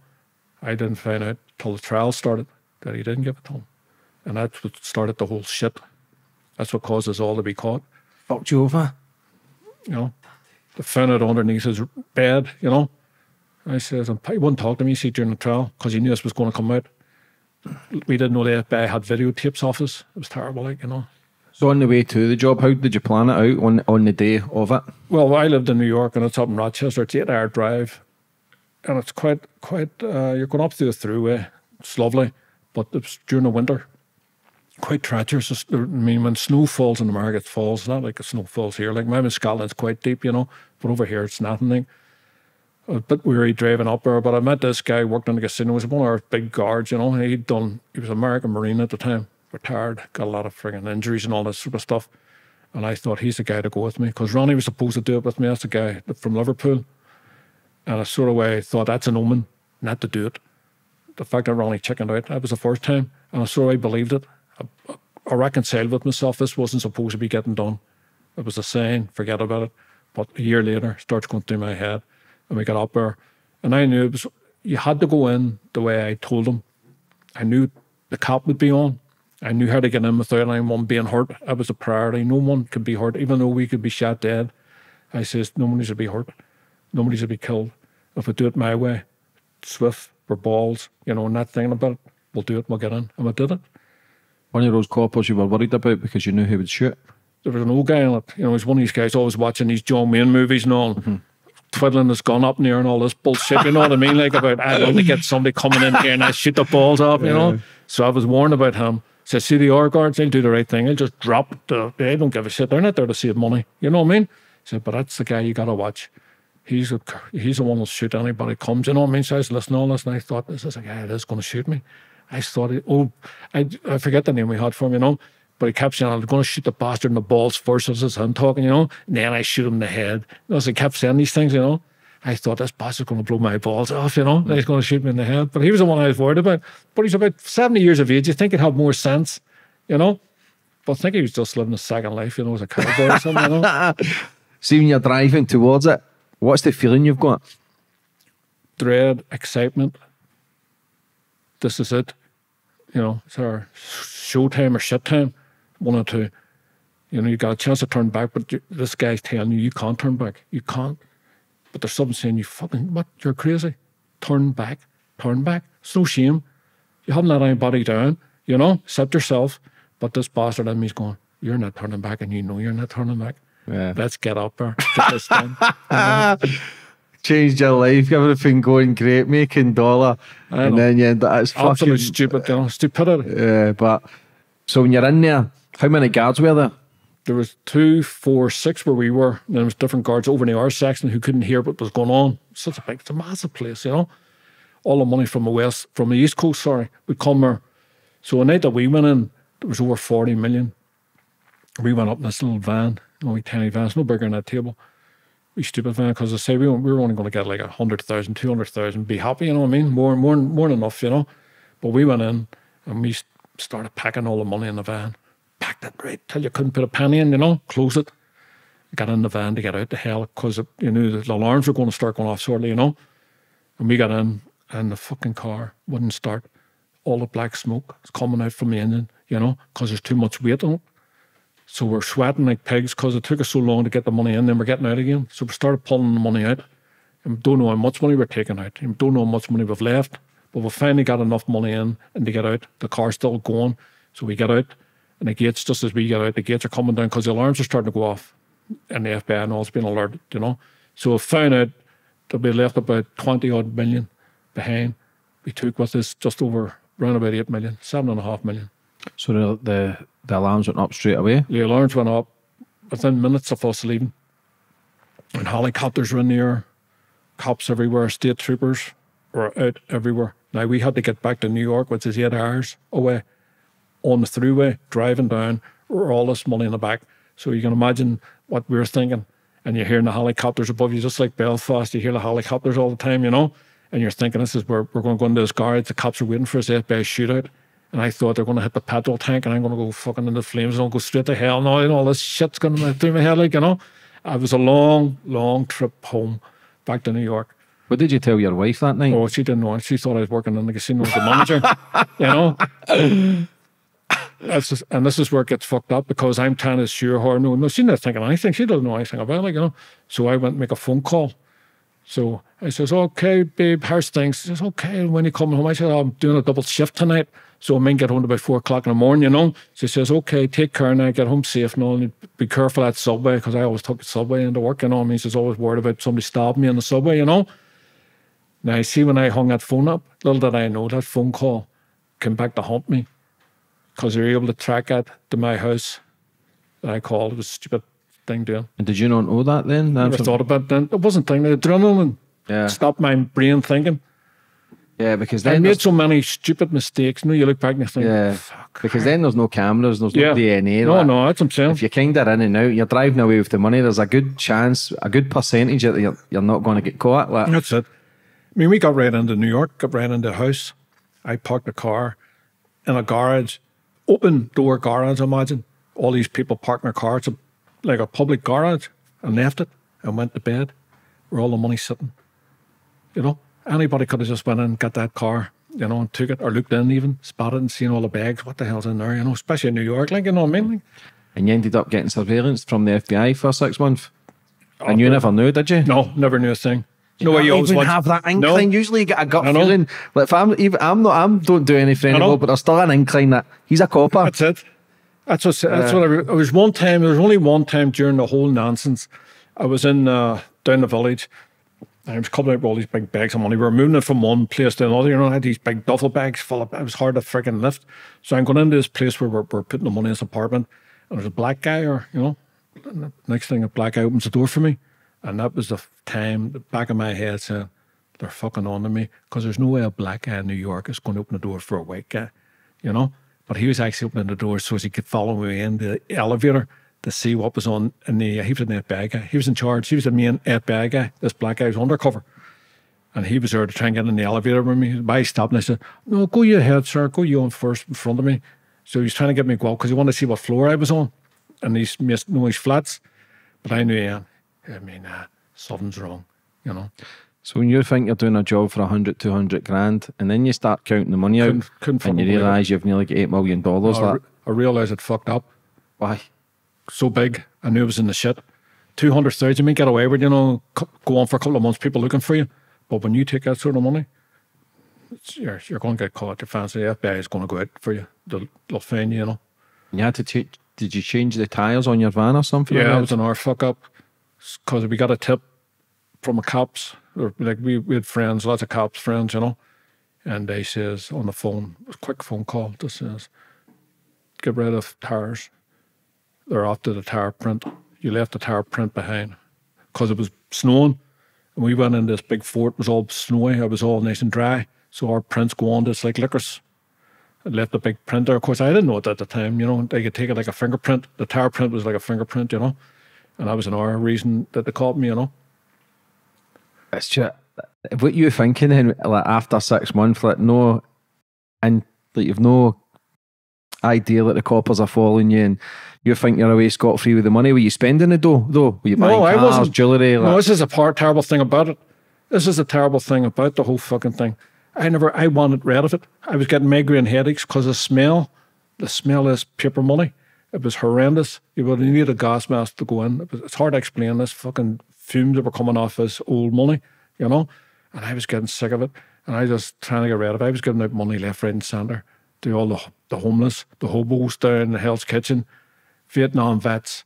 I'm not trying to sound like Robin Hood here. Robin Hood, yeah, I yeah, was just yeah. trying to do it to get rid of a lot of it. You know, you couldn't, and the more you got rid of it, it seemed to grow. You couldn't get fucking rid of it. You know what I mean? Like, and I just that's when I contacted Pat. I said, Pat, I've got some money. Eh, you you know people. Maybe you can head it for me. So he's thinking I must have twenty thousand. I'm an illegal alien working in a casino. You know, put some money away from me. And then when he seen it, he sort of away like was shocked, but he didn't turn his back. So this is a thing. He says, yeah, okay, you know. And then he was doing all sorts of wee dodgy stuff behind my back, you know. But that's he's not here to defend himself and not willing to talk about. you know, if you want to know about, just read On the Brinks, my memoir, where the whole book's in. You know. we will leave the link to your book. Oh, Um, very good. so when you get, how did you get caught? Well, there's a Queens where I was living eventually. There's a big post office. I used to go in there and get all the money changed in the post office money orders, you know. And I'd had a shop going, a couple of shops going, so I was using them to clean this sort of thing. So very amateur. I wasn't really thinking. I was getting complacent because I thought I got away with it, you know. But I remember this uh, Monday morning, I forget, I went down. Just as I went into the post office, the place was buzzing. There's fruit stalls everywhere owned by the Koreans and all, you know, bakers. It's always buzzing. Jackson Heights never stops. So I never thought of anything of. Went in, got myself, got the change, got the money changed, and came out. The minute I opened the door, you couldn't hear a pin drop. All the fruit stores and all locked up, and there wasn't a sinner in the streets. This is a street for thousands of people, and all of a sudden there's not a sinner. And do you think you go, hmm, something strange here? And it was like a zombie movie. All of a sudden, what the fuck happened here? You know? And I knew there, I was caught. I was finished. So I just went up the street. My van was parked two streets away. And I just knew it was only a matter of seconds before I'm going to be arrested, you know. And I went up. Minute I put my hand on the door handle off the van, they came from everywhere. FBI, you know, started screaming, Sam, where's your guns? Where's your guns? I never had a gun, never had a gun, you know. But they obviously thought I was walking around, you know, I'm going to shoot it out. These guys don't know all this shit's in their heads, and know, they're- you know. And that was it. What you thinking then? Like, what, what, when did it come to the realization that you'd fucked up again? Like, There, at that second, my life's finished. who pops into your mind? Your mum, your, your wife, or your dad? My wife, kids. Never thought of anybody else. Wife and kids. I said, I fucked this up, and this is the biggest fuck up I, I've ever done in my life. I'm never, I'm never going to get out of it. Potential life sentence. Oh yeah, no, I'm never going to get out. I'm dead. I'm going to die in penitentiary. I had it already. It all came flouncing at me. You know, what I mean, knew exactly what was waiting for me. That sort of money. No way. especially tying up people. And Tying up people, you know, you charge for kidnapping them and all this here sort of stuff, mm-hmm. you know. so when you get took to the cop shop, like, was that straightforward or was it still trying to? Well, did the you funny charge thing straight is, away? see, here's the thing: the FBI never dealt with anybody like me because I already know interrogations. I mean, I went through interrogations where you get tortured, you know.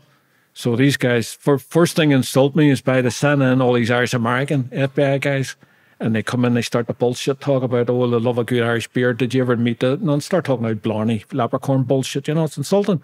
But I just sit there, and I refuse to talk to them, and they're getting angry because I've never understood, I've never met anybody in America who's never talked to them. They always talk. Every all Americans talk. They all give themselves away. They'll stop start talking, you know.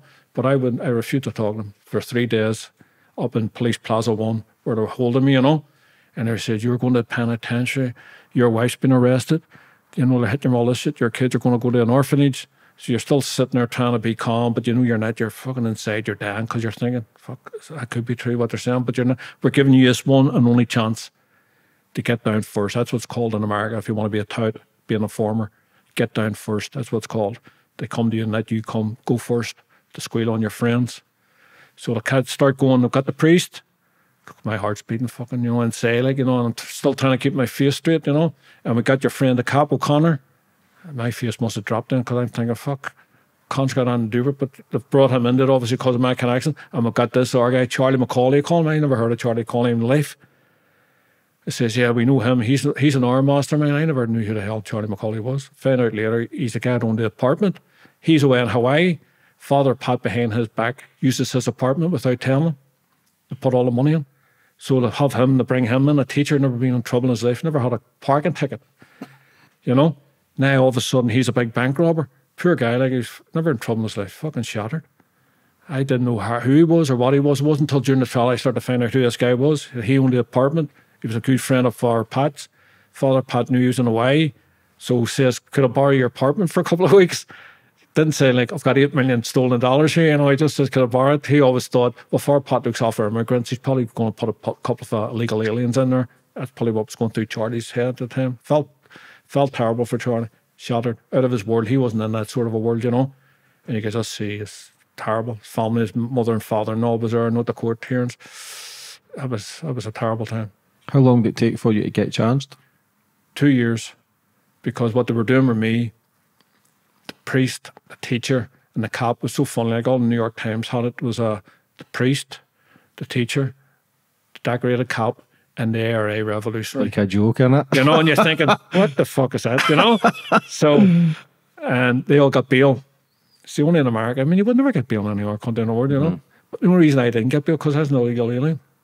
I refused to become American, you see, you know, because I didn't want to give up my Irish citizenship. So they couldn't let me because I was classified as an illegal alien. So they started doing this thing called me, uh, you know, diesel therapy. What it is, they put you in these trucks, pickup trucks, where we prison or we cell made up inside the, the truck, two guards at the front, and start traveling through the mountains. This is during the winter now, you know. So I'm only, I've only got a wee uh, jumpsuit on. I'm handcuffed all over the place, you know. I start taking us through all the mountains, you know, tiring you out. You're not getting any food. You're exhausted, you know. And the smell of fumes from the engine, the diesel, starting to give you terrible migraine headaches, you know. So it's called diesel therapy. The FBI use it to break people down. They think I've got a potential person who's going to turn and turn state's evidence. So I thought that, but after about three months, they knew they weren't going to get anything with me. They couldn't believe it. After the trial, my lawyer says, see all the FBI guys, you all want to come and shake your hands because of what you endured and you didn't give one person up. He says, I've never seen anything like it in their life. Was that easier for you compared to what you've went through anyway? Uh, oh yeah, it was a lot easier than the H blocks. You know, it was nothing. It was just like a fucking ride. Like it was nasty. Like don't get me wrong, it was it was nasty. Like having to go through mountains and on, going to prison. And when you get into prison, you get in there at three o'clock in the morning. You go through all the searching procedure, which is about three hours. You know, and all this shit. You get into the cell. You don't know who you're getting put in the cell with. You know, fuck. You know. And next thing you make a bed, you're just getting into it. You're beat. Next thing, come on. And you get moved again to our prison. You know, 20, 20 hours away. So we're doing this for two years to break it down. You know, Felt like a ghost run. it's terrible. And but when you went to court, there was a massive fuck up because you it was against your human rights to be getting travelled this is so far. Yeah, this is only in America, you know. So my my we had these lawyers. One of them was David Bowie's lawyer, you know, and uh, they came to that night. We were, we were all having a big meeting. I mean, this is all the guys who'd done the robbery having a meeting inside the courthouse with all the lawyers. It's so funny, like, you know. So one of them's going, listen, we're going to put this proposal to the judge tomorrow. I'm not listening because I don't believe it. I know I'm going for life. You know what I mean? I'm going to, so I'm not listening anymore. I don't want to listen anymore. I'm feeling all wrapped up in self pity. I'm not listening to all this bullshit, you know. They're saying we're going to put this proposal to the judge at your human rights. You know, we're broke. I what the fuck are you talking about? He says, they should have moved you from New York. That's where, the, where you lived. But they brought you all the way up to Rochester because it's a hillbilly town full of cops. And they know the jury will convict you in, in a heartbeat, you know. So I didn't believe it. I went back to my cell in the county jail, you know. The next thing this guy says, you know, you've got one of the best lawyers in New York, Tony Morali and all this. You know, I goes, yeah, yeah, yeah, whatever. So went over to the court the next day and the judge dropped all the major charges because my human rights have been violated. Fuck, only in America. only in America. You know what I mean? I couldn't believe it. And then I found out I could only get five years. It was like I won the lotto. I just went, oh, fuck, can't believe it. I can only get five years, you know? It's unbelievable. Did people ever question that? Like you were going for life and then get five years as if you had turned Queens on anybody? Oh, no, no, no. It was all, no, because the press, it's always so much in the press and the lawyers all, and everything's in the press, what the judge says. And then the editors would look at that and say, yeah, that's, that's, that's why it happened. And all. No, there's no way you can cover anything up, like, you know what I mean? Like, you know? And then, of course, once I am sentenced, I get five years because the judge said to me, he says, you're up your eyeballs in this, but I can't do anything about it, you know? So you're always sitting there and you're, you know, you feel a wee bit embarrassed when he's saying that, like, you know, he says, I sat through this trial and I know you were guilty 100%, you know? What was he caught with? In the, uh, was it with conspiracy? Conspiracy to have stolen money. Mm-hmm. I mean, everything was dropped. And over five million was never found. Uh, five and a half million. of course, my mates, my mates still think I've got it hit the garden. And all, yeah, you know? yeah. You, well, you did come up every now and again yeah. with shovels. But you did pull up here with a Rolls Royce, so you know? was behind in something. Yeah. but so you've got five stretch. Yeah. Like to being still here and to still tell your tale, like you you're definitely protected from something. Like yeah, to get all all these chain of events to Yeah. kind of it's kind of mad. It is like a fiction book. It is. It's not really. Yeah. It's unbelievable. Like, I've done over 250 interviews. Like this is one of the best stories I've heard. Like it's, Oh, it's just fucking mental. Yeah, it's it just mad. So, what was it like in the American jails? Well, I was lucky once again. I was taken care of by the Hells Angels and Irish American gangsters. You know, Hells Angels have this affinity with IRA because I think IRA is out to destroy the system. That the Hells Angels have that sort of thought in the back of their head. You know, they hate the system, hate cops. Anybody hates cops, it's good enough for us and all. So I was always taken care of. All the prisons I went to, and I was very lucky. You know, I was like I had a horseshoe up my arse. You know what I mean? Wherever I went, everybody just took care of me. You know what I mean? So I was taken care of pretty good. Uh, just sat there waiting for my days to count down. No one was getting sent back to Ireland, you know, back to Belfast.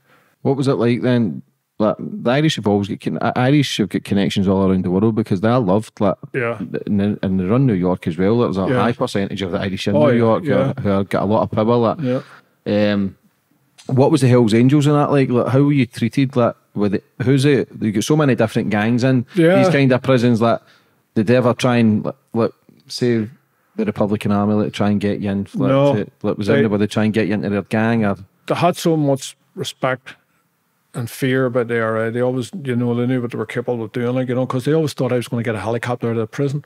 Their, their heads were full of shit, like, you know, and they says, yeah, we know Sam's not going to be here long. You see a helicopter's going to come pick him up. No one used to believe all mm-hmm. this shit, like, you know. But they always take care of me, but I was never affiliated with them. But, you know, if somebody's helping you to stop from getting stabbed and all, like, you're not going to refuse to take it, you know. I mean, I had the right wing nutcases, the skinheads and all, and they all had this thing, you're a Catholic, we're going to take care of you. You know, everybody had their reasons, you know what I mean? So I, just, I was taking care of wherever I went, you know. Who'd Even run- though you never agreed with them, and I mean, the skinheads and all, I don't, I don't understand that, the right wing, because I was as left wing as anything, you know.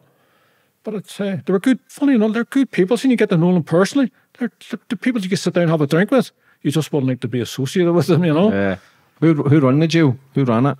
Everyone had their own, you know, black black community had theirs. The white, you know, Mexicans had them. It was a quite dodgy sort of a place. You just had to be careful, you know. Do you have to be on your toes more then than you had in No, I block? no, I was quite chilled. No, no, it was. The thing is, a H blocks was a horrendous nightmare, but you always had your comrades, and that's one thing. You know, once you had them, you didn't give a shit. You could have went through hell. knowing you had your comrade next door in the cell with you. Over there, you're on your own. Is it a single cell? No, when I mean on your own, I mean it's a mental thing. You're on your own. There's nobody else going to friggin' But protect when you. you're there, is it like bars? You can see through the bars, single No, no, you get bunk beds. No, it's no, it's quite. Uh, it's a federal system, so it's quite uh, like I wouldn't say luxurious, but the cells are done nice. You know, like you've all got your own privacy, sort of a thing. Like you know, what I mean, there's two people in the room, you know. And funny enough, they put me in the cell, and I couldn't believe it. The guy put in was from Derry. He was a gun runner for the IRA. So they tried to keep all these IRA men. There was another guy who worked for NASA. He was an IRA man. He was making rockets while he was worked for NASA. FBI arrested him. So we were all together, you know. They were keeping us in this prison thinking, well, in case there's a big escape, I'll keep them all here together, you know what I mean? Sort of thing. I kept thinking, hey, it's going to help. We're going to help them, like, you know. That just shows you the, the threat that you do bring because well, even though you you, know. you've lived that life, so you might not, you're thinking, it's all fucking far fetched film shit, Yeah, but you exactly. have actually lived it where people Yeah. have escaped. Thousands of lives have been fucking Yeah. took away. Like Yeah. you have been in that life of Yeah. conflict and madness and involved in one of the biggest robberies in American Yeah. history. So you're I going know to have question marks. I over used your to, head. used always laugh at it, like, you know what I mean? And then the, the, climax was when Bill Clinton intervened. I Yeah, that's mad, yeah, That was, so that was absolutely scandalous. You're in there for five years, but then you get a phone call from the White House, Yeah. and you're thinking, Well, it's a joke. Yeah, well, it didn't happen. Like, it came down that the, the guard comes, you know, and he's saying, uh, Millar, the governor wants to talk to the governor lives up in this big hill overlooking the prison, like, you know, and I said, I'm not going to no fucking governor. The guard was shocked. He said, what, what the fuck you on about? You can't refuse. I said, well, I'm refused. I'm not going. What the fuck does the governor want from me? He says, well, he wants to talk. Yeah, that's all I can tell you. So I refuse. Next thing, about a week later, tried it again. Next thing, I got a message sent in from outside, you know, says, you're going to get a phone call. Make sure you go up to the governor's office. So I didn't know what the fuck was going on, you know what I mean? So I went up. Governor was there and he was a bit shaky. You could see him a bit nervous and all, you know. In the office, he, he left me. I mean, what the fuck's going on? Was waiting. This is the FBI. They're going to come through the door to give me more charges. They're going to blame me and things, you know. Because during this time, Ronnie was murdered. And I'm thinking they're going to try and pin Ronnie's murder on me and things like this here, you know. All these thoughts going through my head. Next thing, a phone rings and I'm picking it up. And a woman says, You're going home to Erin. No, a woman's voice. I never said, I just hung the phone up again. Er I thought it was the FBI just playing tricks on my mind, no trying to mess with me. So I went back to my cell now and never thought anything of it. Two weeks later, I got a message saying a woman has worked for Bill Clinton. You're going home. Next thing, Irish News, that's our local paper here in Belfast, had the headlines Millar's coming home to Belfast. Part of the Good Friday Agreement. Pardon? Part- Because a good Friday agreement, Bill Clinton agreed to it. And it fucking just shows you my luck. Like it's just, you know. I mean, uh, even I am a bar spat sometimes. you know, you're either thinking, you've got some luck or you've Yeah, got some serious fucking pull. Yeah, I'm starting to think you've just got some serious pull. no, trust me, I, it's just fucking crazy luck. I don't know what it is. I'm going to pay for it later. And I know I'm going to pay, pay, you know. I've got away with too many things, you know. Who was Ronnie? Ronnie was the guy from Liverpool who wanted to get on the first robbery, but he chickened out. He was a guy Father Pat was supposed to give him a 100,000 to keep quiet. He got done in. he got well. This is what it says. They were trying to hint that he went to the FBI and told him he was involved in a Brinks robbery. I've never really believed it so much, you know. Although it could be true, but I've always don't think he would do it. At the end of the day, but Father Pat says eh, he wouldn't trust him as far as you could throw him and all this shit, you know. Father Pat had to give him the money. Who knows? Yeah, a lot of politics involved as well when these sort Yeah. of things, and you don't know who to trust. Yeah, but this is what it comes down to, you know. You don't know who to trust. You, know, you think a person's hundred percent, and then all of a sudden you think, "Fuck, I sh- shouldn't have trusted him." You find out, late. yeah, you find out who's hundred Always percent too late. the I mean, hits a the priest, fan. You never think a priest is going to rip the, you know, you know. Yeah, And he's such a nice wee kind priest, you know. oh, Father, this, you know. Now, and see the letters. I was getting a hate from fucking all sorts, nuns and everybody. I was going to hell for what I'd done to Father Pat. He fucking actually started believing the shit that he was talking like, you know what I mean? Mm-hmm. Like, I was this bad area eh, man, intimidated him into hiding this money, all this shit out there. Like, nobody believed him, like, but he, he had try and kill himself convinced, you know? yeah, blaming you. Yeah. What was the jail? What was it like in there? Was there much violence in that prison? Oh, quite a lot of violence. what you kind of Well, stuff did you it's see? a sort of a place you can see the violence coming. You know, when you know a guy's two guys has not paid a guy, you know eventually. And then my mate was quite, you know, a veteran of prison. Like you said, like, this guy's going down tonight, so he'll stay at a fucking handball alley. The Maxons are going to cut his fucking head off and all this here. So you always knew where to avoid, like you know. Who else did you become friends with in there? Uh, different guys, different, mostly gangsters. Chicago, was a lot of Chicago gangsters and all, like, you know, well-known gangsters. different, different people, you know. Into the mafia and Oh God, mafia was the mafia are funny. All they're worried about is food. You know, they have all the cooks and they're, all they had to be rated, lasagna and all this here. But I, I got well on. I'll tell you what happened one night. One of the prisons were moving me down freaking. I think I was down to Lewisburg. It's a real nasty place. I was like, I'm no castle converted in this prison, real nasty place. And they're pushing us all in like cattle, you know. And I remember the room was blacks, Mexicans, a couple of white guys, you know, and there was two old white guys, but they're doing that deliberately. So you just a fight among yourselves. That's all they encourage. See, the guards encourage fight. They don't want any unity. If the, if the prisoners thought for one second, let's fucking unify here and take on the system. They could change the whole of American system, but they never do. That's how racism comes in, you know. But I remember being pushed into this room, squeezed in, all these black guys and Mexicans, a couple of old, old white guys. Now, too pity me, I actually got a seat. It's very rare you get a seat, you know, but I was in first, I got the seat. And everybody's squeezing up against me. I was sitting there, mate, looking down the ground. Don't want to look at anybody. Don't want to get into any trouble. No looking at somebody. Somebody said, What the fuck are you looking at, you bastard? No sticks on. So I just kept my head down. But seeing this, these two old guys, you know, they're fucking- must have been about 90. Here's me, nah, fuck it. You know, I got up and I offered one of them a seat. And he said, oh, oh, thanks, son. You know, all this here. So I never thought nothing of it, you know, just the way I was brought up, like, you know. Fuck that night down to prison. I'm called up in the third tier and I'm thinking, what the fuck's this? It's all run by the mafia, you know. He says, in, come in. This old guy's one of the fucking godfathers in New Jersey. And he gives me a big hug and all. He says, respect what you did to me and all. Take, me that seat. You get up. I'll never forget you wherever you go. My name will go with you.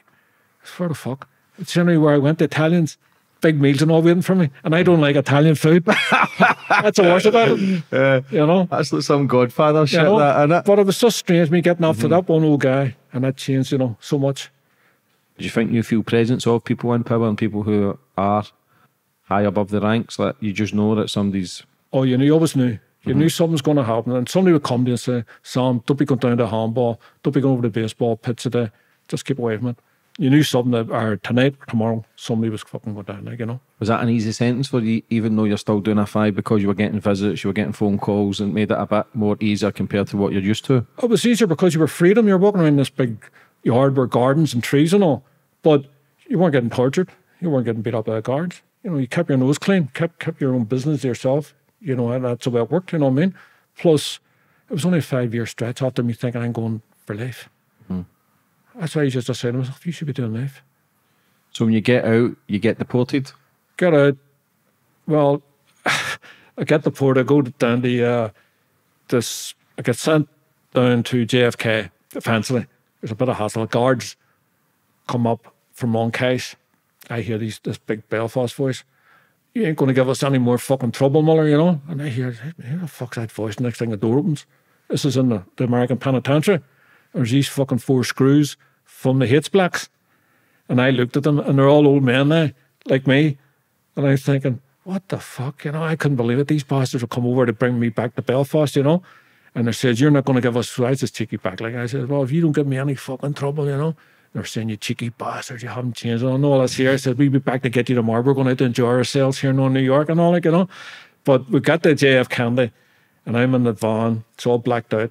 And the, the cops have all surrounded it, you know? It's all specially arranged. You know, we had this big escort, and I hear two cops going, This bastard in here, he's worse than the Arabs. He's fucking dangerous as fuck. They're terrified of me. Know, I'm sitting there thinking, what the fuck? He said, one of your mom said, he is worse than all them fucking Arab bastards. You know, you hear him sound like, you know. Next thing, BA, British Airways, we got on, they refused to take off because I'm on it. And fair play to the screws, had to give them a bit of credit. They stayed on it. They said, we're not moving either. So next thing, we're doing a standoff on the plane. This big plane sitting in JFK. Next thing, FBI gets on board to Washington, comes into your captain and says, you're going to be arrested. You don't fly these guys back there. And it's up to you. She's got an hour to decide. The captain come back in. All the stewardesses no, flew us out. And that was the last. That was my last incident in America. Were you handcuffed? I was handcuffed until I got onto the plane, and then I took the handcuffs off. Even though this is where it all started. The captain, the, the guy flying, says he has to stay handcuffed, and I said, "No, no, we've got him. There's no, no need for handcuffs." This is where it all started. The whole fucking trouble, you know. And it was funny. See, when we reached uh, Belfast or, or London first, there, and we had to change planes, but everybody had to get off first. Just set me in the four screws. The screws started stealing all the towels and all. And all the wee sacks and all they give you in the fucking BA because it's a big first class fucking thing, like, you know what I mean? And they were calling out. But I had to give him a wee bit of credit. The first time ever I give a Screws credit, you know, because it says, no, no, we're all staying here. We're, he's not going, we're not going, we're all staying. He's not getting handcuffed. That was it. How was it on the plane with them? Did was there I any admit- conversation? I admit I did talk to him, you know. I tried not to. But you know, you're on this big fucking trip and you're thinking, fuck's sake, you know, and they were showing movies and all that. And he said, Sam, you're going back, you're not going to believe it. You're not going to believe it, you're going back. You know, it's all changed and all, no, it's here. So after a while, you finally go, yeah, really, you know, and because for a while I was just fucking ignored him, you know what I mean? Like, but after a while, he starts talking, he said, oh, yeah, it's all different now, and all, you know, all that serious shit, you know. That's the way it was, like, you know. It's mad that to have all that anger and violence and rage and then changing your life and end up bang involved again and then coming back and then did you ever think in your mind though that you were going back to what you went through the last time? No, I knew I wouldn't go back because IRA, the IRA wouldn't have me. But do not once you're out, you're no, out. no, once no, what I did in America, it took a long time for me to be forgiven for what I did. Is that correct? Yeah, Yeah. because to try to bring the IRA into it, the had nothing to do it. That was fucking big trouble, like for me, like you know what I mean. IRA had nothing to do it, but the newspapers over there were, you know, use all this shit. You know, oh, IRA must have been involved in this big plot to get all this money. All that nonsense, like you know. So a lot of my friends, comrades, and all stopped talking to me. My family stopped talking to me Because it was bringing a lot of negative heat towards. because their son done it. Yeah. They were ashamed. You know, they just it was a criminal act. What were you expecting to come back to in prison? Were you getting another sentence or were you just to finish off the sentence or were you getting Yeah, I was supposed to finish it off, go back to Belfast and finish it off. And I I think I had nine months, and the governor come to me and said, "We don't know why you're here, so let me go the next day." And I got the train home. I couldn't believe it. You know, I didn't even spend two days in the place. You know, I was supposed to be there for about six or seven months. Just forget exactly what long it was. You know, and I remember it was down in Derry, Magilligan or somewhere. They called the place, and uh, I just remember getting the train home. They gave me a train ticket. That's all I had. had no money, hadn't a penny, just that train ticket. I went into Belfast City Centre for the first time in 15 years, you know, Did you ever think you were going to get beat up in that prison? in what prison? Uh, Yeah, Belfast. because it was uh, political status had been taken away and they were mixing loyalist prisoners with Republican prisoners and, you know, Protestant and Catholics. But nobody, there was no fights. I don't know how, everybody just was very calm. How was that to see for you? Pardon? How was that to look at? I was Were you just- happy were I was happy to see that there's no nonsense, that all the nonsense about jail, you know, people fighting each other and all that there, you know, I mean, I was just, I did, I'd had enough of it, like, you know, but uh, different ways. It was almost like having political status again, like in nations, you know, because the screws really didn't care. You could just see they were just there doing their job at that time, you know what I mean? They lost all interest and everything, you know what I mean? Like, and uh, yeah, totally different altogether, you know, How long were you in America for? altogether, about 15 years, So you come back and everything's changed and then changed big time. So how was it to come back in here and adapt? Was there ever any? Were you ever worried about the lawyers still trying to kill you or the IRA because you brought Yeah. negative press? So you've got two sides kind of against you. Yeah, of course. I was I was con- more concerned about uh, the IRA. You know, my brothers are all Republicans and all this here sort of stuff and all. And, uh, you know, they wouldn't have showed me any favour, like you know.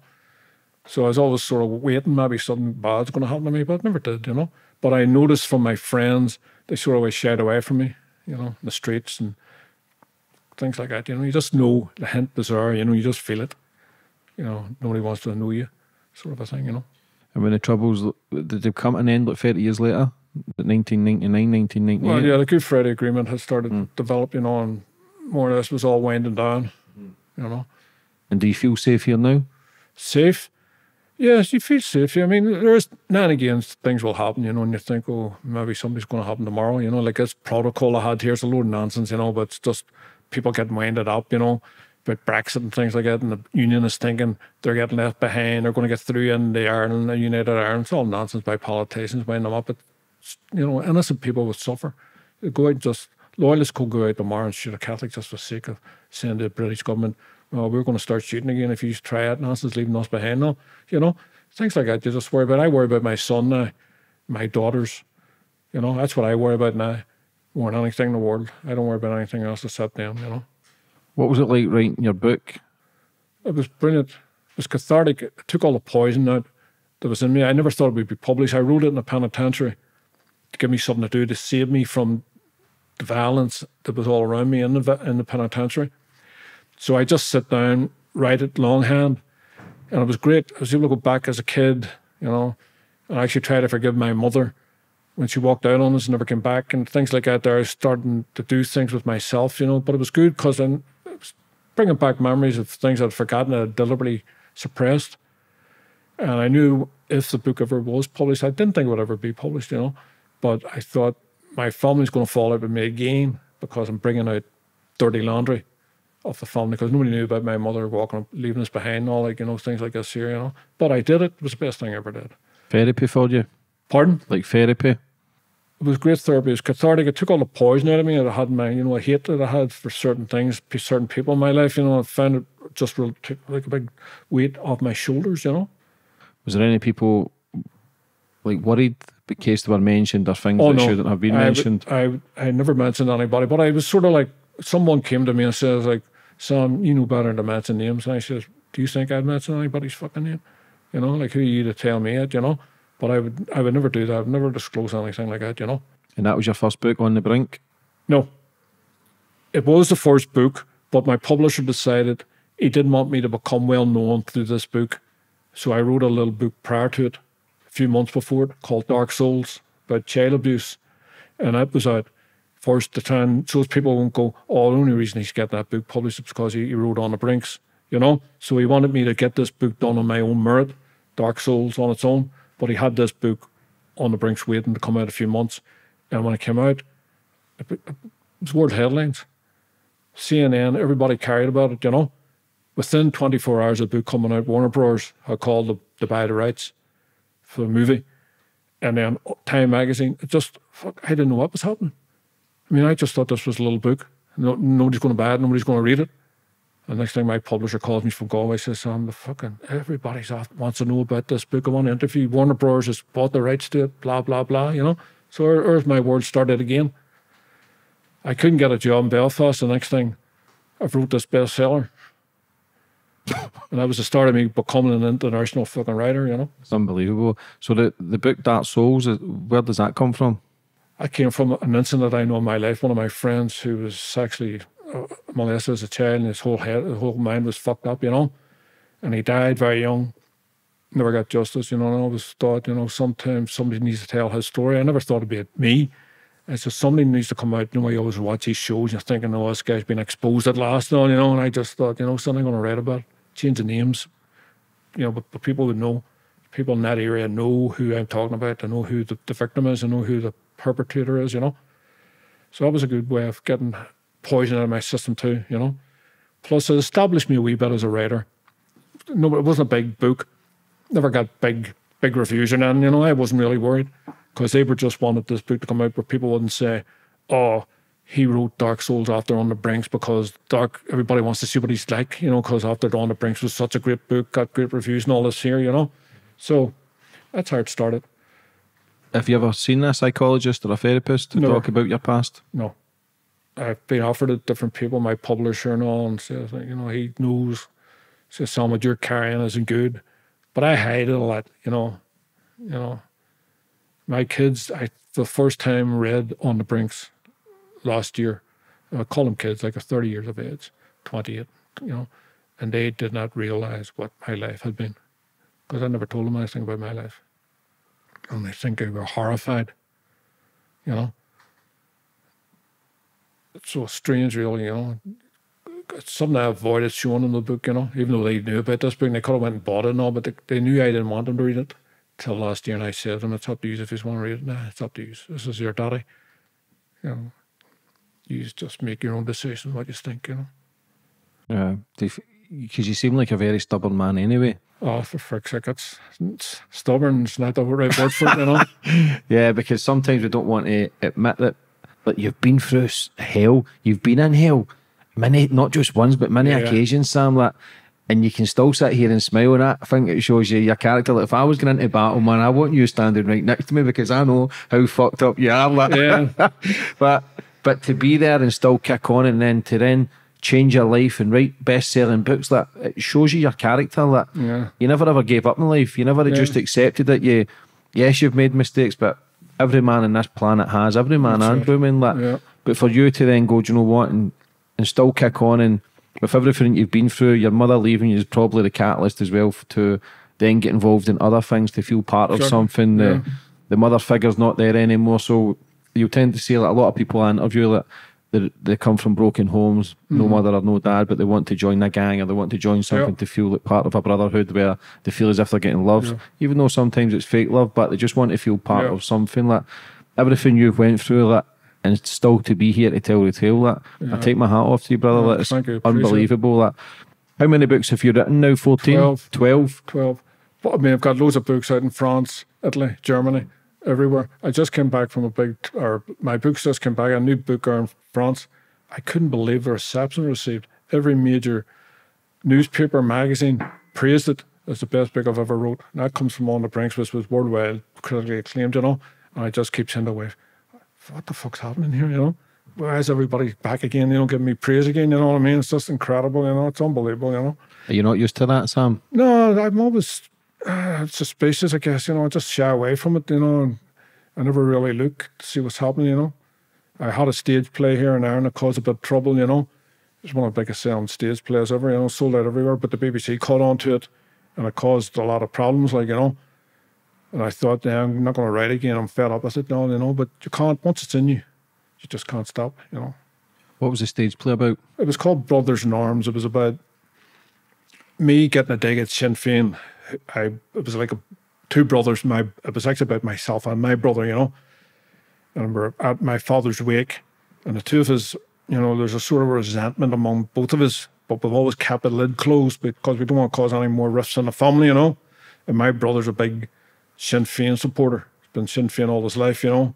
Whereas I detest Gerry Adams, you know, I think he's a, a fucking rattlesnake, like, you know and it came out in the play like and then the BBC gripped onto it the next thing all the newspapers it started all going around the whole of Ireland you know and there was a lot of trouble going on here with so-called dissidents I don't call them dissidents I just call them Irishmen Irish women who want to fight you know it's up to them I've given up fighting you know I've done what I've done you know and I'm not going to condemn anybody who wants to fight you know but they were trying to put me under pressure to condemn Republicans who were continuing to struggle continue to fight. And I said I would never condemn them, you know. So I got a lot of abuse about it, you know.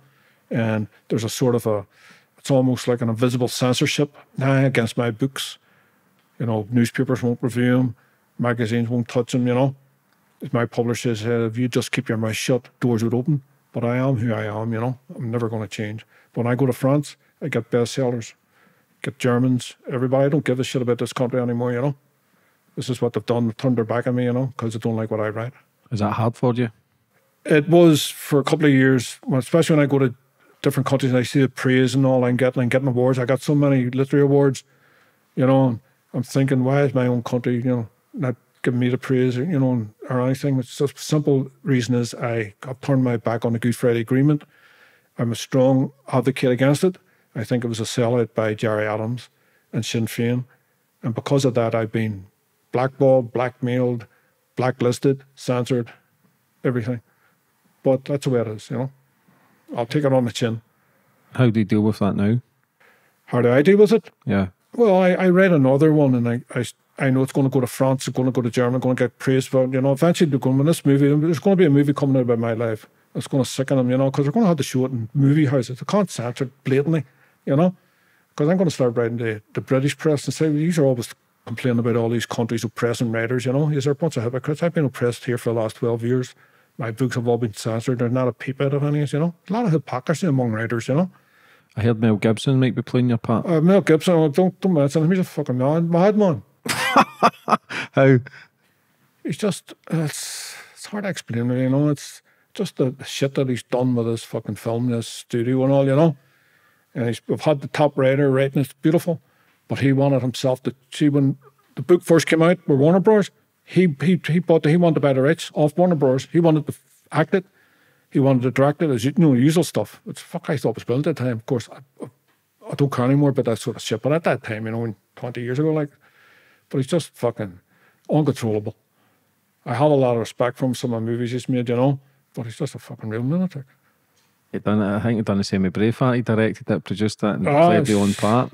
It just Is he a nutcase? Yeah. It's a real lunatic. But he was not bang on the booze. Was he not an alcoholic at one point? I don't know about that. then no. changed his life. Yeah, I don't know. I think he got involved with an extreme Catholic organization, uh, Curtis Day or something. It's one of these fucking really dodgy sort of a Catholic, extreme right wing Catholic church from the Jesuits and all. I think he's involved in something like that there, you know.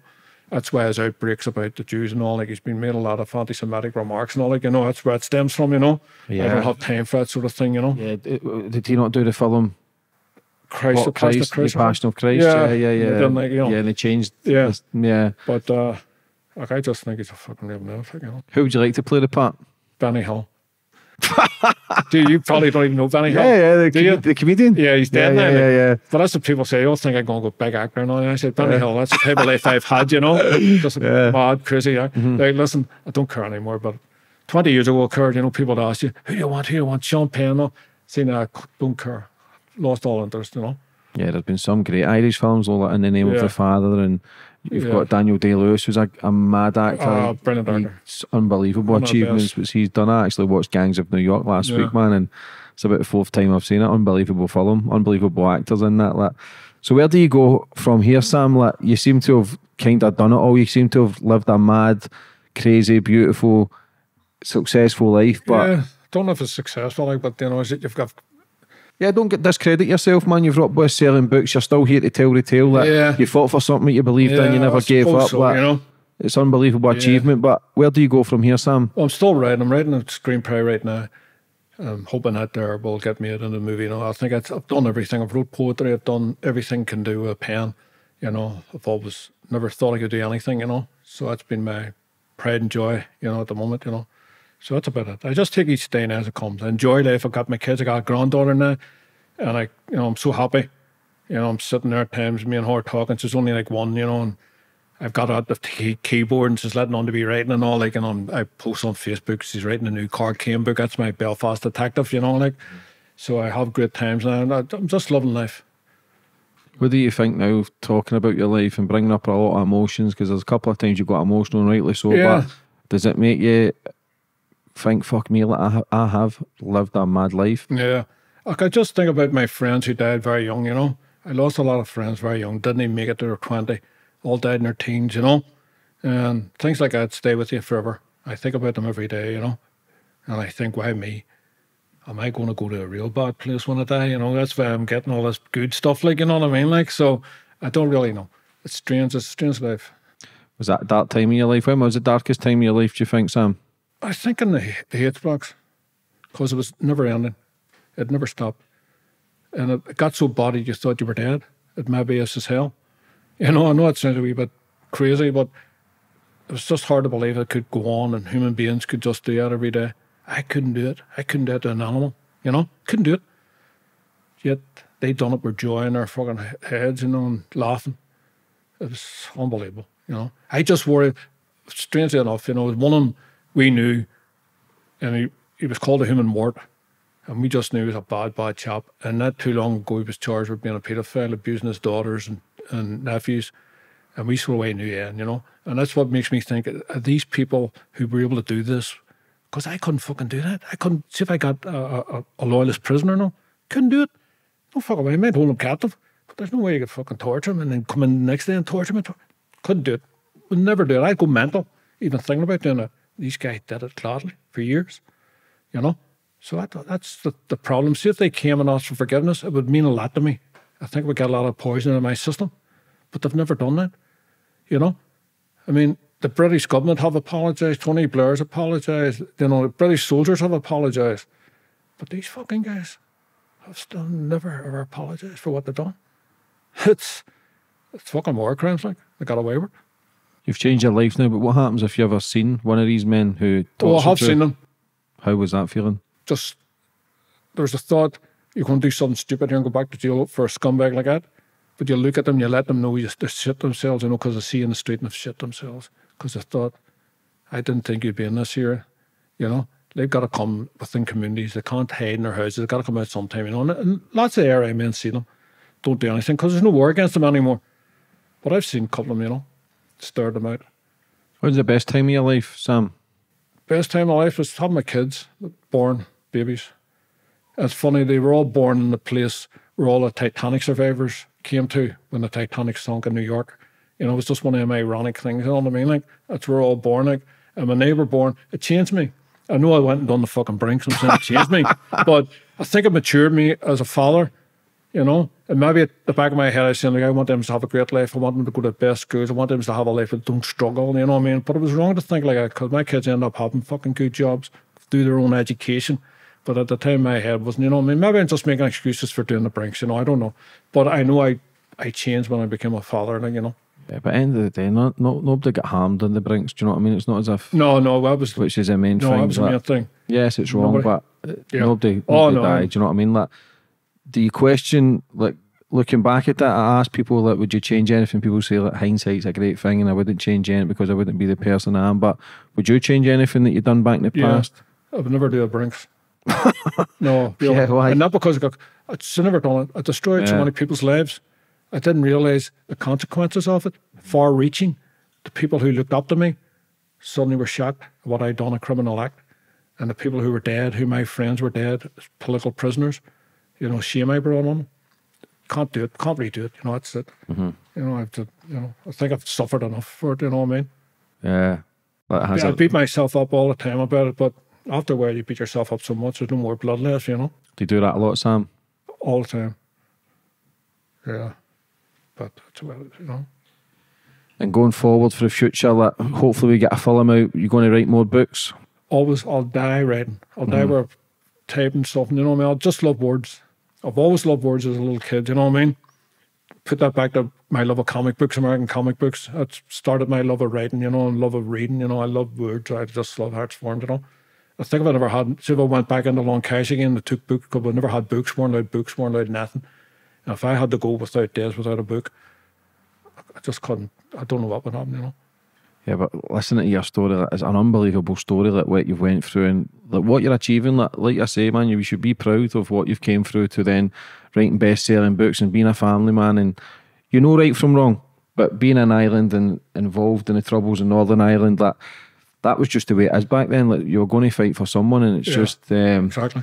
it's just the way it is. And like I say, I've spoke to people both sides, and I'm only a man from Scotland who loves to interview people. I just love to know how they get involved, why they get involved, how they feel now, and get a better understanding of it. Like people might read in the papers and the news, but we all know that they're all full of shit anyway. They Of can they they can push their own narratives Yeah. to what people want to believe, and people people actually believe what they read. But when you actually get a better understanding of why you started it and losing friends, getting shot six times, and family members and friends getting blown up, and both sides, like you can Yeah, understand no, why course, no, big time. everything Listen, erupted. my brother and my son-in-law's unionist, you know. I've got lots of pro- loyalist Protestant friends and all. I don't give a shit about persons, all as you know. But at the same time, I had to respect each other, treat each other equal. And how was that for the first time to speak to a, a loyalist to Well, I, understand what they went I through? always and had the they'd done? Mm-hmm. loyalist blood in me because of my grandfather. So I used to stay with my aunts in Tigers Bay, which is a staunch loyalist area in Belfast, you know. So I always had that from both sides. And one thing that media couldn't get at, when I used to say about bad things that happened in Tigers Bay when I was a Catholic kid there, they couldn't turn and go, How would you know anything about that? You were never in Tigers Bay. You see, now they don't like it because I lived both sides. You know, and I read, I say the way it was, you know, because they don't like it because you're seeing from both sides, you know what I mean? As I say, there's scumbags on both sides and there's great people on both sides, you know. What would you have done if you were in, in charge of the whole thing in Northern Ireland? What would you do to then make it a better place? What do you think was the right thing to do to calm it down and make people happier? It's it's a question. Well, it's you're not going to get that for a long time because unionists are terrified that their privilege has been taken away from them. But why why should you have a privilege over me? Why should you be treated differently? Why should I be a second class citizen? Why should a black person in South Africa be a second class citizen to a white person? You know, that's what it all comes down to: treating people with respect and equality. You can't have justice. You can't have peace without justice. You know, and you always got to remember equality. Why would you not want to treat a person equal? Why do you think you're superior to them? You know, I've never thought that. And I'll tell you what, I would go to war for unionists if there ever was a union iron and they were treated like shit. I think that's the thing that unionists fear that we will treat them the way they treated us. And I would be one of the first to go and fight for them and fight against anybody who tried to put oppression on them. For anybody watching, Sam, where can they get your website, books? Get on www.millarcrime.com and you get the books anywhere. Thank you very much. What about like social media or anything? You do I'm on that stuff? Facebook. If anybody just tap in Sam Millar, you'll see me there, a big ugly face waiting, waiting for you, and Twitter and all that sort Mm-hmm. of stuff. You know. You seem to have battled a lot of mental health as well through the years, Sam. Like for anybody watching that's maybe struggling themselves, what advice would you have for them? Don't do what I do. Go and find help. There's somebody who can help you. Sam, for coming on today, James, brother. thank you for coming all the way from Yeah, glorious Glasgow. you know, thank you, man. Appreciate uh, it. but for coming on today and telling me your story, I thoroughly enjoyed that. Thank you. You're a great man, Sam. I look forward to seeing what you do for the future, brother, and look forward to seeing your film. Thank you, James. Appreciate it, man. Thank you. Thank you, pal.